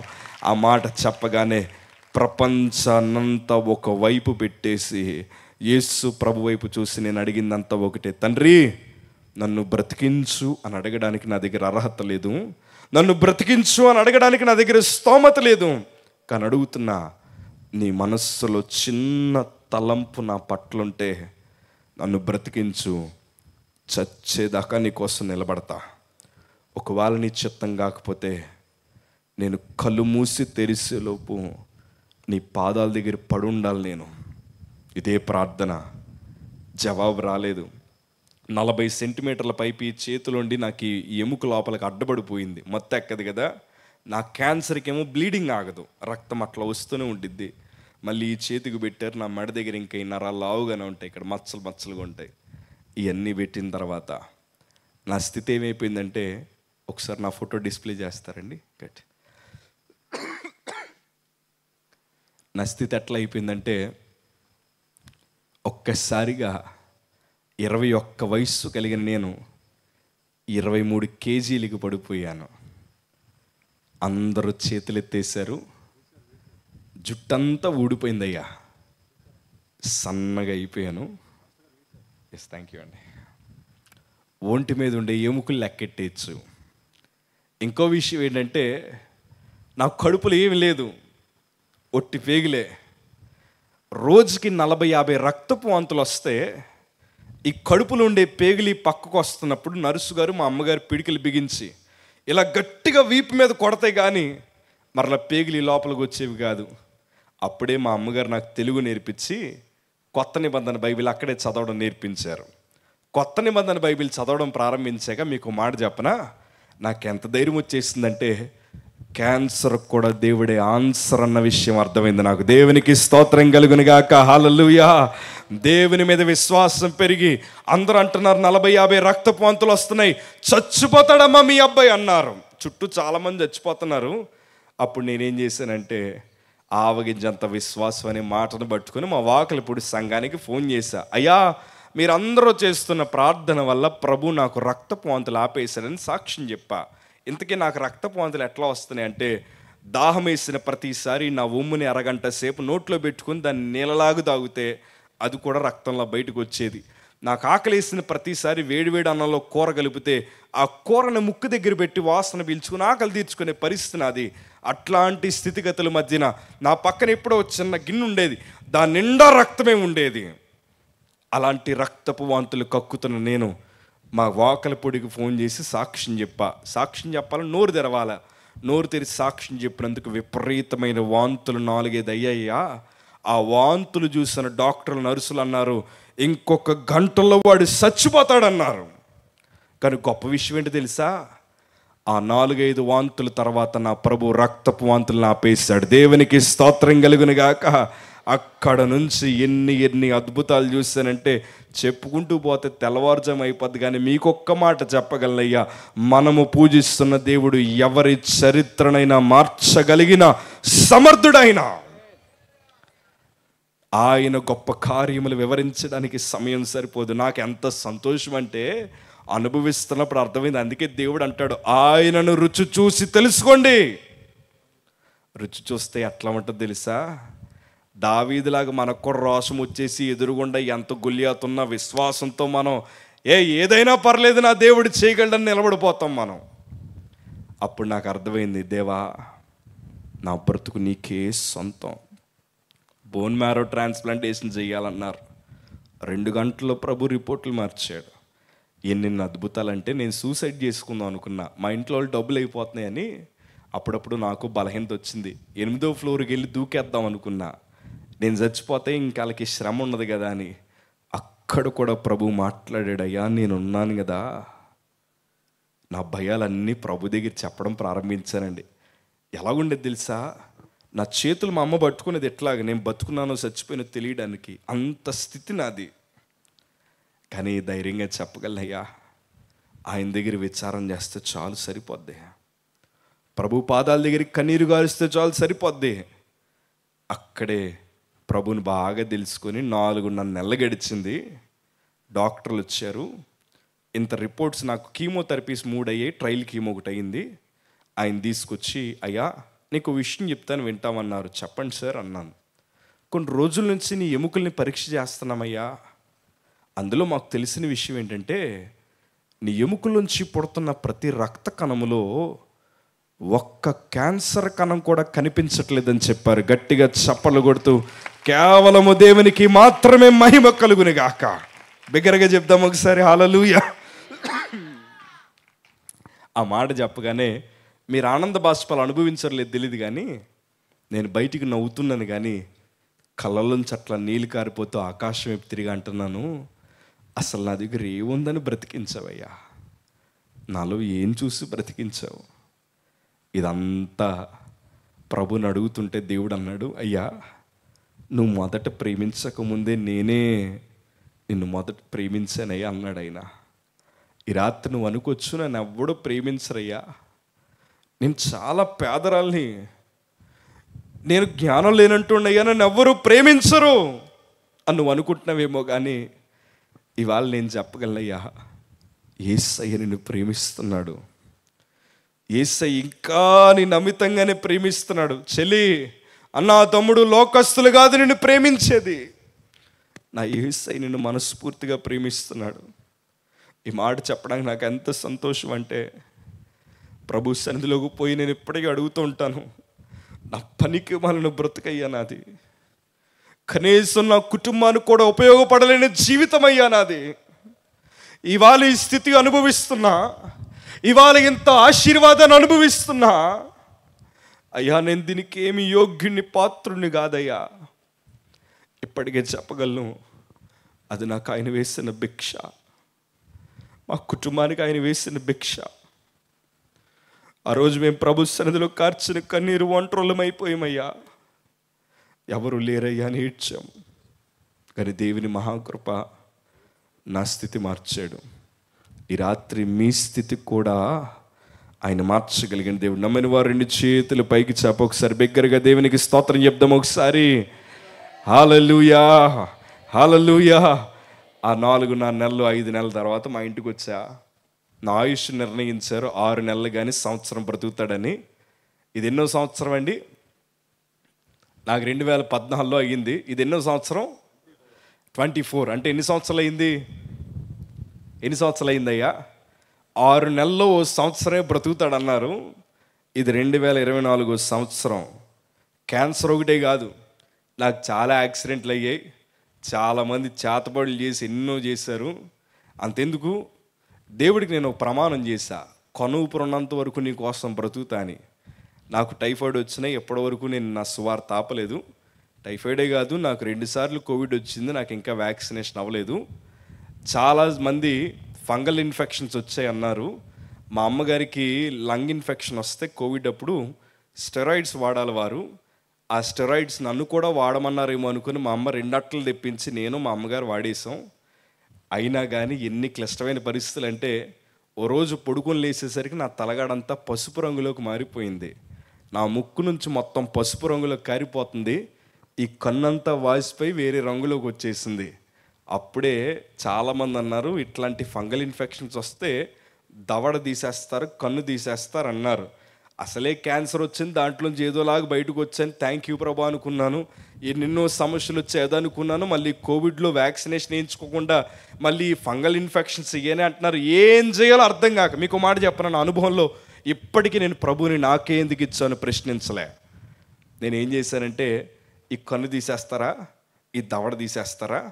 నేను ఏం చేశానంటే అద్దం ముందరకు పోయి ఈ కన్ను మూసేసి బైబిల్ ఒక్కంత ఎట్లా చదవాలో ప్రాక్టీస్ చేసినాను నేను. ఈ దవడ ఎముకు తీసేస్తే ప్రభువుకి చెప్పలేనేమో నా స్వరం ఆగిపోద్దేమో అనుకొని రబ్బర్ బాల్స్ ఉంటాయి చూసారా? చిన్న చిన్న రబ్బర్ బాల్స్. ఆ రబ్బర్ బాల్స్ నా దవడ లోపల ఇక్కడ పంట లోపల పెట్టుకొని ఒకవేళ నా దవడ ఎముకే తీసేస్తే ఉన్న స్వరముతో దేవుణ్ణి ఎట్లా గనపరచాలో ఆ బాల్స్ పెట్టుకొని ప్రాక్టీస్ చేస్తున్నాండి మీకు మాట చెప్పిన ఎందుకు ఈ మాట నాకు ఇష్టం అంటే దేవుని వాక్యం సెలవిస్తారు. విశ్వాసము లేకుండా దేవునికి ఇష్టడై ఉండుట అసాధ్యము. ఇది ఒక్కటే నాకు తెలుసు. విశ్వాసం ఉంటే చాలు ఆయన ఏదైనా చేస్తాడని. అయ్యా రెండు నెలల్లో దేవుడు నన్ను చాలా స్వస్థపరిచాడయ్యా. ఎన్నెన్ని కార్యాలంటే మీకు ఓ మాట చెప్తాను. ఇవాళ నేను ఇట్లా నిలబడ్డం అది నా బలమో నేను తింటున్న తిండి బలమో కాదు కానీ నేను చెప్పగలను. అది నేను ప్రకటిస్తున్న దేవుని బలం అది. దేవునికి స్తోత్రం కలుగునిగాక అందుకే దేవుని వాక్యం ఎంత అద్భుతంగా ఉంటుందో. యహోవా కొరకు ఎదురు చూడు. ఏమొస్తుంది అప్పుడు? ఆ బలమే ఈ క్యాన్సర్ రోగుని నిలబెట్టగలిగింది. అదే బలము ఈ రాత్రి పడిపోయిన మీ కుటుంబాన్ని నిలబెట్టడానికి ప్రభు సిద్ధంగా ఉన్నాడు. దేవునికి స్తోత్రం కలిగినగాక దేవుడి మీద ఆధారపడండి చాలు. నేను మారు మనసు పొందాక బూతులు రాసే ఉన్నాయి నోటితోటి. ప్రభు కృపను బట్టి ఇరవై మూడు పాటలు రాయడానికి దేవుడు కృప చూపించాడు. దేవునికి స్తోత్రం కలుగునిగాక నేను మారు మనస్సు పొందగా ఒకే రోజు నలభై మంది స్నేహితులు బాప్తీసం పొందారు. అయ్యా నేను తిరిగిన రాజకీయవేత్తల్ని ఇరవై మందిని ప్రభులోకి నడిపించగలిగాను. ఆ సంఖ్య ఇంకా ఆగలేదు. ఎందుకంటే నాకుండే చాలా మట్టికి స్నేహితులు అందరూ మతోన్మాదులే. చాలా మట్టికి నాతో తిరిగిన నా స్నేహితులు అందరూ మతోన్మాదులే ఎంత మతోన్మాదులు అంటే మీటింగ్లు ఆపేసి లేకపోతే చర్చలు పగలగొట్టేసి వాటి మీద వీటి మీద రాళ్ళు వేసేసిన వాళ్ళే కానీ మేము అందరం ఒక్కొక్కసారి కలుస్తాం. కలిసినప్పుడు మీకు ఒక మాట చెప్పన? ఒక్కసారి కూడా ప్రభును దూషించడానికి ఒక్క మాట రాదు. ఎందుకో తెలుసా? నా పాపపు చరిత్ర వారికి తెలుసు. వారు ఒకటి అంటారు జోషన్ని మారాడంటే అది కేవలము ఏసయ్య కృప మాత్రమే అంటారు. దేవునికి స్తోత్రం కలుగునుగాక. ఏ బంధువులైతే ఏసై దేవుడు కాదని నాకు చెప్పారు ఇవాళ వాళ్ళే నోటంట చెప్తున్నారు. మా జోషి చాలా బిజీ అయిపోయాడయ్యా. ఎందుకో తెలుసా? యేసు ప్రభు వాడిని బాగు చేశాడు. ఆ దేవుడే నిజమైన దేవుడయ్యా అని స్వార్థ చెప్పడం ప్రారంభించారు. ఇంకా అంతకన్నా ఇంకేం అవసరం లేదు నాకు. ఇవాళ దేవుడు నాకు ఎన్ని ఇచ్చినా నేను ఒకటి అంటాను. ప్రభా వయసు ఓపిక ఉన్నంత వరకు అనుభవిస్తాను. కొంచెం వయసు మళ్ళీ పోతే నేను సరిగ్గా తినలేను తిరగలేను ఏం చేయలేను కానీ నాకు ఒకటి మాత్రం కావాలి. యవనములో ఉన్నా ముసలివాడిగా ఉన్నా ఏ స్థలములు ఉన్నా ఏ ప్రాంతంలో ఉన్నా మంచం మీద ఉన్నా నేల మీద పడుకున్నా కారులో తిరిగినా ఆటో మీద తిరిగినా నడిచిపోయినా నాకు కావాల్సిందంత ఒకటే చచ్చేదాకా నీ సహవాసం నాకు కావాలి. చచ్చేదాకా నీతో నేను కలిసి బ్రతకాలి. అదే నేను కోరుకున్నది. ఆ కోరిక మేరకు దేవుడి వాలి ఈ స్థితిలో నన్ను ఉంచాడు. మా అమ్మ రెండు సంవత్సరాల నుంచి చచ్చిపోవాలని ప్రార్థన చేసింది. మా దేవుడు చంపేలేదయ్యా. దేవుడు చంపలేదు. ఏం చేశారంటే ఆయన నన్ను కఠినముగా శిక్షించను కానీ ఆయన ఏం చేశారంటే మరణములో ఉండాల్సిన నన్ను తీసుకొచ్చమ్మా నీ కొడుకుని సజీవుడిగా కాదు సేవకుడిగా నీ చేతిలో పెడతానన్నాడు ఆయన. దేవునికి స్తోత్రం కలుగునిగాక ఇవాళ చాలండి మాకు మనశ్శాంతి వచ్చింది చాలు. ఈ ప్రపంచంలో అదే గొప్ప ఆశీర్వాదం. దేవుడి దగ్గరికి మనకు దొరికేది శాంతి సమాధానం.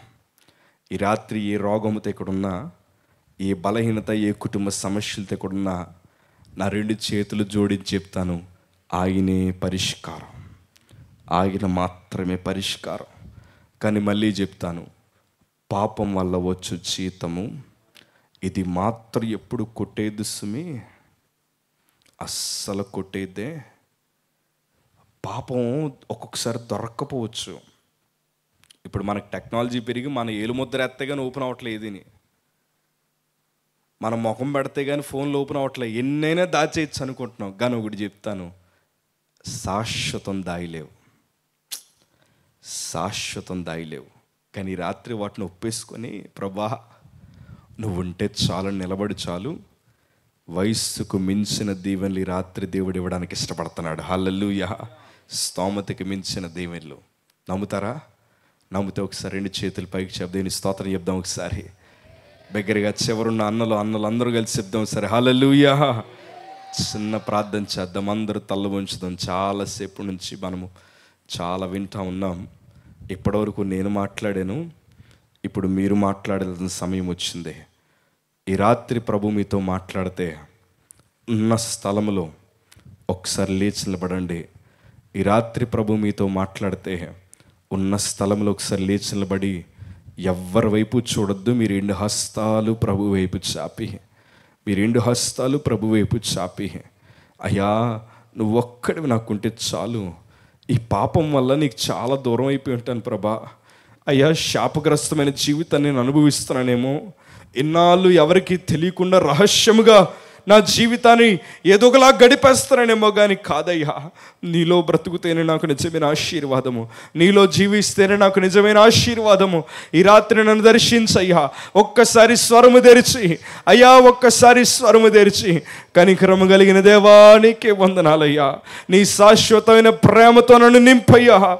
అయ్యా నా జొరైడని ఎస్ అయ్యా నీకే వందనాలు. స్వరము తెరుద్దామయ్యా ఇప్పటి వరకు మేము మాట్లాడాము. ఇప్పుడు మీరు స్వరము తెరాల్సిన సమయం వచ్చింది. ఒక్కసారి మనం స్వరము తెరిచి తండ్రి ఈ రాత్రి నా జీవితాన్ని మీ చేతులుగా అప్పగిస్తున్నాను. ఈ రాత్రి నా బ్రతుకుని మీ చేతులుగా అప్పగిస్తున్నాను అయ్యా పరిశుద్ధానికి వందనాలు ప్రభా. కృప కలిగిన దేవా నీకే స్తోత్రాలు. స్వరము తెరుద్దామయ్యా. రక్షణ పొందాల్సిన వారు. అయ్యా బాప్తీసం పొందాల్సిన వారు. అయ్యా ఒక్కసారి రాత్రి ప్రభు మిమ్మల్ని పిలుస్తున్నాడు. ఇన్నాళ్ళు ఎవరి కోసమో నువ్వు ఎదురు చూస్తుంటావు? కాదయ్యా ఈ రాత్రి ప్రభు నిన్ను పిలుస్తున్నాడు. ఏసయ్యానికి వందనాలు ప్రభా. కనికరం కలిగిన దేవానికి స్తోత్రాలయ్యా. స్వరము తెరుద్దాం ఒకసారి. ఏసయ్యా నీకే వందనాలు ప్రభా. స్తోత్రమయ్యా నీకే వందనాలు ప్రభా. పరిశుద్ధుడండి మన దేవుడు పరిశుద్ధుడు. ఈ రాత్రి నిన్ను నన్ను ఎంచుకున్న దేవుడు అయినా అయ్యా నశించిన దానిని వెతికి రక్షించడానికి వచ్చిన దేవాది దేవుడు. నీకే సమస్య ఉన్న ఈ రాత్రి ప్రభు సన్నిధిలో చెప్పయ్యా. ఏ బాధ ఉన్నా ఈ రాత్రి ప్రభు సన్నిధిలో చెప్పయ్యా. సమర్పణ జీవితం కావాలి. ఈ రాత్రి నువ్వు గొప్ప తీర్మానాలు ప్రభు సన్నిధిలో తీసుకోవాలి. లోకరీతిగా ఆలోచనలు ఇంకొద్దు. ఈ రాత్రిని ఆశీర్వదించడానికి ప్రభు సిద్ధంగా ఉన్నాడయ్యా. ఏసయ్యా నీకే వందనాలు. నీ సన్నిధానములో సంపూర్ణ సంతోషం ఆరాధించుకునే విలువైన అవకాశం ఏసయ్యా. కోల్పోయినావన్నీ నాకు ఇచ్చుటకును బాధల నుండి బ్రతికించుటకును. నీవే రాకపోతే నేనేమైపోదును స్వరము తెల్చి. నీవే రాకపోతే నేనేమైపోదును. అందరికి చప్పలు కొడుతూ పాదం గట్టిగా చప్పలు కొడుతూ ఈ రాత్రికాల సమయంలో మా గమ్యాన్ని మార్చే దేవుడివి. హల్లెలూయా దేవానికి స్తోత్రాలయ్యా. సంతోషాన్ని కోల్పోయి ఉంటావేమో. ఏసయ్య ఈ రాత్రి మమ్మల్ని దర్శించయ్యా.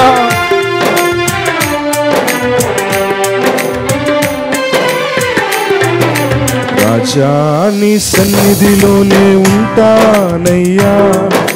మనసారా ఆరాధిస్తూ బ్రతుకుతానయ్యా. రాజా నీ సన్నిధిలోనే ఉంటానయ్యా.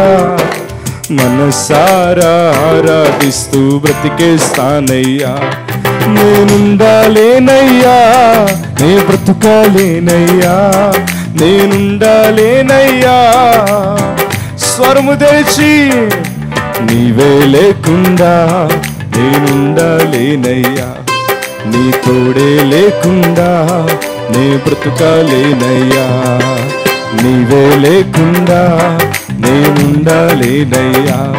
నీ తోడే లేకుండా నే బ్రతుకాలేనయ్యా. ఒంటరి పోరు నన్ను విసిగించిన మనుషులెల్లరూ నన్ను తప్పు పట్టినా. ఒంటరి పోరు నన్ను విసిగించినా మనుషులెల్లరూ నన్ను తప్పుబట్టిన ఏసయ్యా ఒంటరి వారే వేయి మంది అన్నావు. నేనున్నానులే భయపడకు అన్నావు. ఒంటరి వారే అవునేసయ్యా నేనున్నానులే భయపడకు అన్నావు. నేనంటే నీకు ఇంత ప్రేమ ఏసయ్యా. నేనంటే నీకు ఇంత ప్రేమ? స్వరము తెరిచి నేనుండాలే అయ్యా. నే బ్రతుకాలేనయ్యా నేనుండాలేనయ్యా. నే బ్రతకలేనయ్యా. నీవే లేకుండా నేనుండాలేనయ్యా. నీ తోడే లేకుండా నే బ్రతకలేనయ్యా ఏసయ్యా నీవే లేకుండా నేనుండాలేనయ్యా. నీ తోడే లేకుండా నేను బ్రతకలేనయ్యా రాజా నీ సన్నిధిలోనే తానయ్యా మనసారా ఆరాధిస్తూ బ్రతికేస్తానయ్యా. రాజా నీ సన్నిధిలోనే అవునేసయ్యా మనసారా ఆరాధిస్తూ బ్రతికేస్తా ఊపిరి ఆగే వరకు ఊపిరి ఆగే వరకు నీతోనే జీవిస్తా. ఏ దారిలో నడిపినా నీ వెంటే నడిచొస్తా. ఊపిరి ఆగే వరకు నీతోనే జీవిస్తా. ఏ దారిలో నడిపినా నీ వెంటే నడిచొస్తా.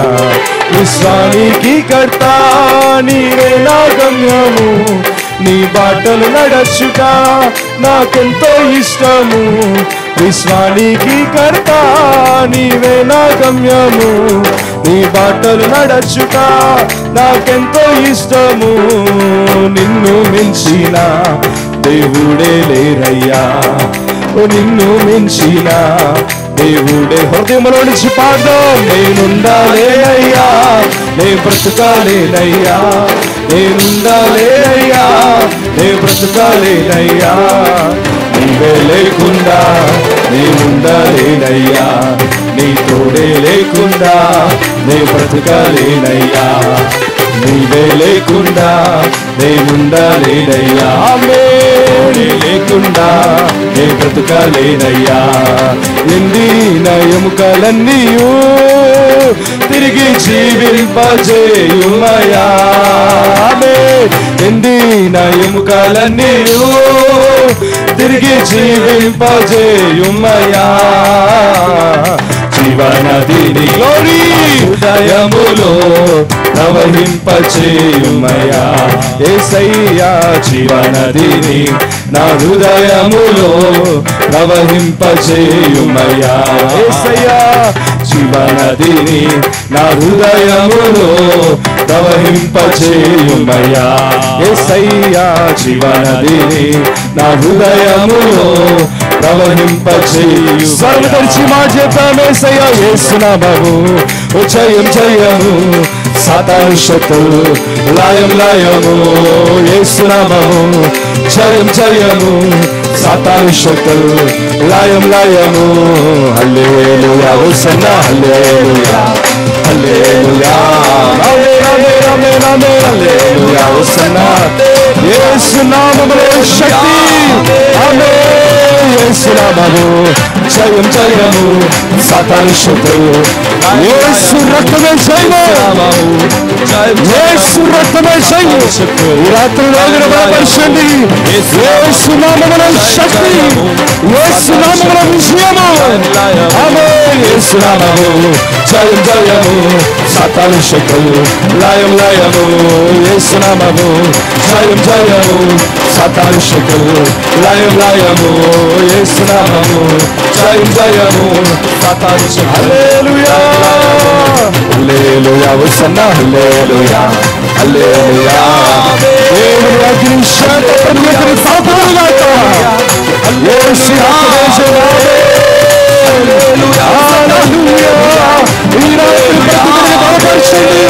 ప్రతి కన్యను మార్చండి ప్రతి బిడ్డని స్థిరపరచండి స్థిరపరచండి స్థిరపరచండి నూతనమైన బలము శాతనివ్వండి నూతనమైన బలము శాతనివ్వండి ఈ రాత్రి సభలో మీరున్నారు సునామము సునామము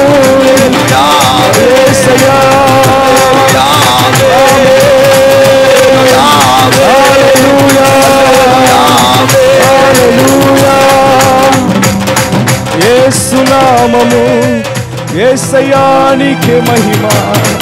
దగ్గరగా చప్పలు కొడుతూ దగ్గరగా చప్పలు కొడుతూ దేవాదిని మహిపడతాం ఈ రాత్రి అయ్యా నీకే వందనాలు.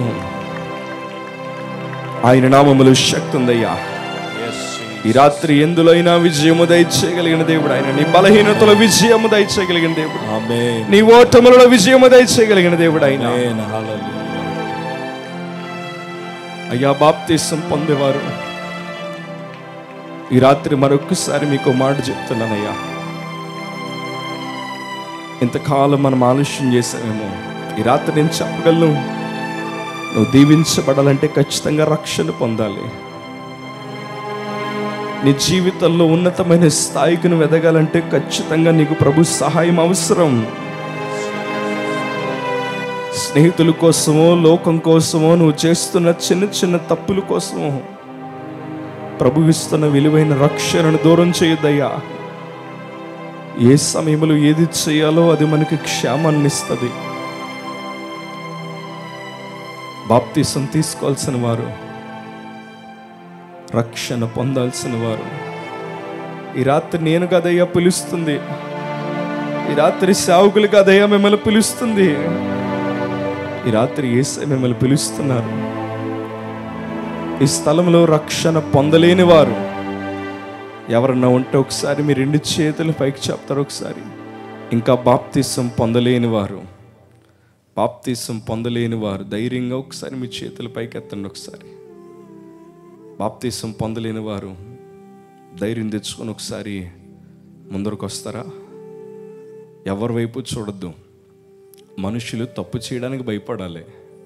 బాప్తీసం పొందలేని వారు దయచేసి సేవకులుగా మిమ్మల్ని అందరికి పిలుస్తున్నాం. ధైర్యం తెచ్చుకొని వస్తారు ఒకసారి? రండమ్మా. ఎవరి వైపు చూడక్కర్లేదు. ఎవరు వస్తారు వాళ్ళు వస్తే మేము వస్తాం. వాళ్ళు వెళ్ళాక మేము వెళ్దాంలే అని కాదు. అవకాశం ఒకసారి వస్తుంది మనకి. చెల్లెళ్ళు అన్నలు తమ్ముళ్ళు ఈ రాత్రి ప్రభు పిలుస్తున్నాడు. ఒకసారి మీరు ముందరకు వస్తారా? మీకోసం ప్రార్థన చేస్తాం. థ్యాంక్ యూ రండి బ్రదర్ రండి. ప్లీజ్ కమ్ కమ్ ఫార్వర్డ్ ముందుకు రండి ఎదురుకు రండి ఎదురుకు రండి. ఎదురుకు వచ్చేసాను, please. ముందుకు రండి. ఎదురుకు వచ్చేసాను, ప్రార్థన come. చేస్తాను. దేవుని కోసం మన అడుగులు ముందుకేస్తే నేను చెప్తాను కదా దేవుడు మీకోసం వంద అడుగులు ముందుకేస్తాడు. ఎవరో ఇదే అనండి మన జీవితంలో ఉండే అతి పెద్ద తప్పేంటో తెలుసా?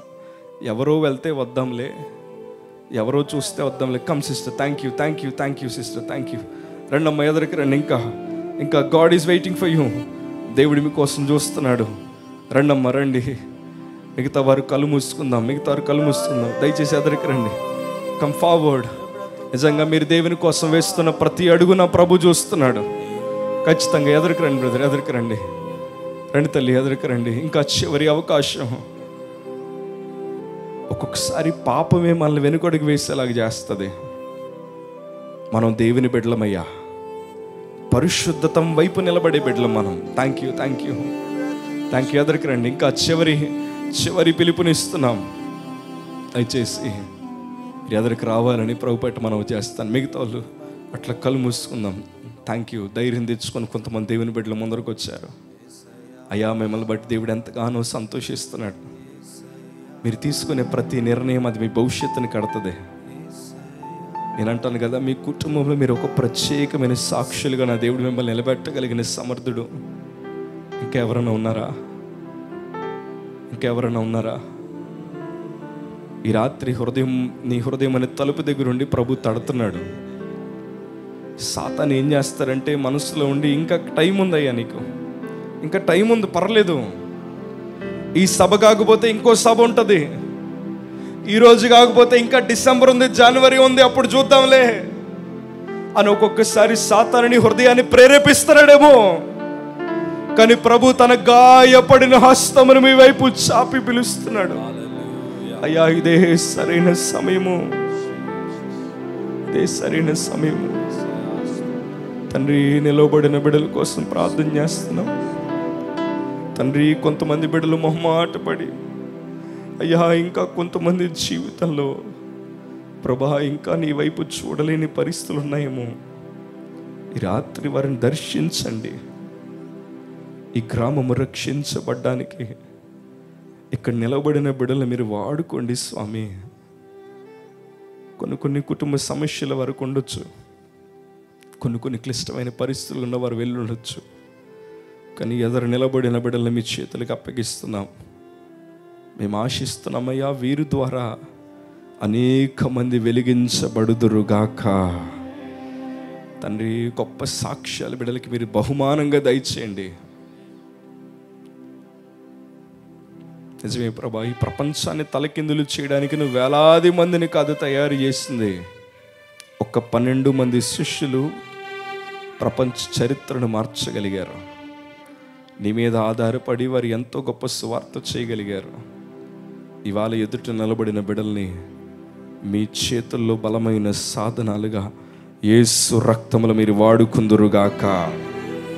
కార్యం జరిగించండి చక్కటి రక్షణ అనుభవాలు బిడలకి మీరు దయచేయమని అడుగుచున్నాం ఈ సువార్త సభల ద్వారా ఈ ప్రాంతానికి సంఘానికి దీవెనికరంగా మీరు చేస్తున్నందుకు నీకు వందనాలు. ఇక్కడ మేమనుకుంటే వచ్చింది కాదయ్యా నువ్వు నడిపిస్తేనే మేము వచ్చాం నువ్వు జీవాన్ని ఇచ్చావు ఆరాధించడానికి మనస్సునిచ్చావు. నీకోసం నిలబడ్డానికి చక్కటి అవకాశాన్ని ఇచ్చావు. దాన్ని బట్టి నీకు వందనాలు. నిజమేనయ్యా. అంతమంది సైన్యం ఉన్న దావీదని నిలబెట్టావు. ఈ రాత్రి బిడ్డలు నిలబెట్టినందుకు నీకు స్తోత్రాలు. దీవించండి ఆశీర్వదించి మహిమ పొందమని. మరొకసారి రక్షణ పొందుతున్న బిడ్డలు మీ చేతులకు అప్పగిస్తూ ఏసు నామమునడి వేడుకుంటున్నాం తండ్రి. Amen amen. ఎదరు నిలబడిన వారికి నా నిండు వందనాలమ్మా నా నిండు వందనాలు. దేవుడు మిమ్మల్ని బహుగా దీవించిన అలాగే మీ అందరికి కూడా నా నిండు వందనాలు చక్కటి అవకాశం ఇచ్చిన దేవాదేవునికి అలాగే అయ్యగారికి నా వందనాలు తెలియజేస్తూ థ్యాంక్ యూ థ్యాంక్ యూ అందరం ఒక్క నిమిషం కూర్చుందాం ఒక్క నిమిషం.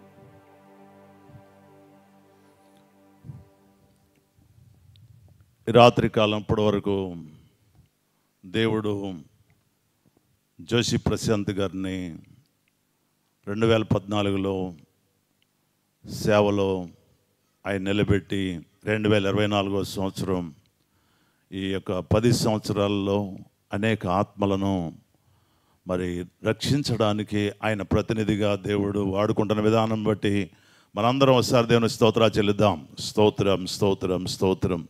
రాత్రికాలం కొంచెం ఆలస్యమైనప్పటికీ దేవుని బిళ్ళర అమూల్యమైనటువంటి సాక్ష్యంతో కూడిన వర్తమానం అందించిన దైవజనులకు మన హోలీ ల్యాండ్ కుటుంబం కుటుంబం తరపున మా కుటుంబం తరపున నా యొక్క హృదయపూర్వక వందనాలు తెలియజేసిన రానున్న కాలంలో దేవుడు తన చేతిలో బలమైన పనిముట్టుగా వాడుకున్న గాక ఆమెన్. అలాగే బాప్తిస్తం కోసం సిద్ధపడిన బిడ్డలు రేపు ఉదయకాలం పది గంటలకు చర్చి దగ్గర రావాలని తెలియజేస్తున్నాను. ఇంకెవరైనా భయపడి వెనక మళ్ళా ముందుకు రాలేకపోతే రేపు పది గంటలకు చర్చి దగ్గరికి మీరు వచ్చినట్లయితే మరి మారు వస్త్రాలు తీసుకురండి. బాప్తిస్తం ఇవ్వబడుతుంది. నేను కూడా ఇలాగే ఒక మీటింగ్కి వెళ్ళి నమ్మి బాప్తీసం పొందిన వాడు రక్షించబడిన మనకి శిక్ష అని మార్క్స్ వార్త పదహారు అధ్యాయం పదహారు వచనంలో తమిళ బ్రాహ్మణ సహోదరి చెప్పినప్పుడు నాకు శిక్ష వద్దు నాకు రక్షణ కావాలని అదే మొదటి సభలో చెయ్యెత్తి రక్షణ పొందిన వ్యక్తిని నేను దేవుని స్తోత్రమలలోయ పల్లికోనస్సు అనే ఒక మాట చెప్పాలి మీకు. మరి పల్లికోనస్సు వార్త సేవకు వచ్చి నిన్నటకు అంటే ఇరవై తొమ్మిదవ తారీఖు మే నెల ఇరవై తొమ్మిదో తారీఖు ముప్పై సంవత్సరాలు నిండి మరి దేవుని బిళ్ళర ముప్పై ఒకటో సంవత్సరంలో ఈ సేవా అనుభవంలో దేవుడు ప్రవేశపెట్టారు. జోషి ప్రశాంత్ గారిని మరి పది సంవత్సరాల నుండి పదకొండవ సంవత్సరం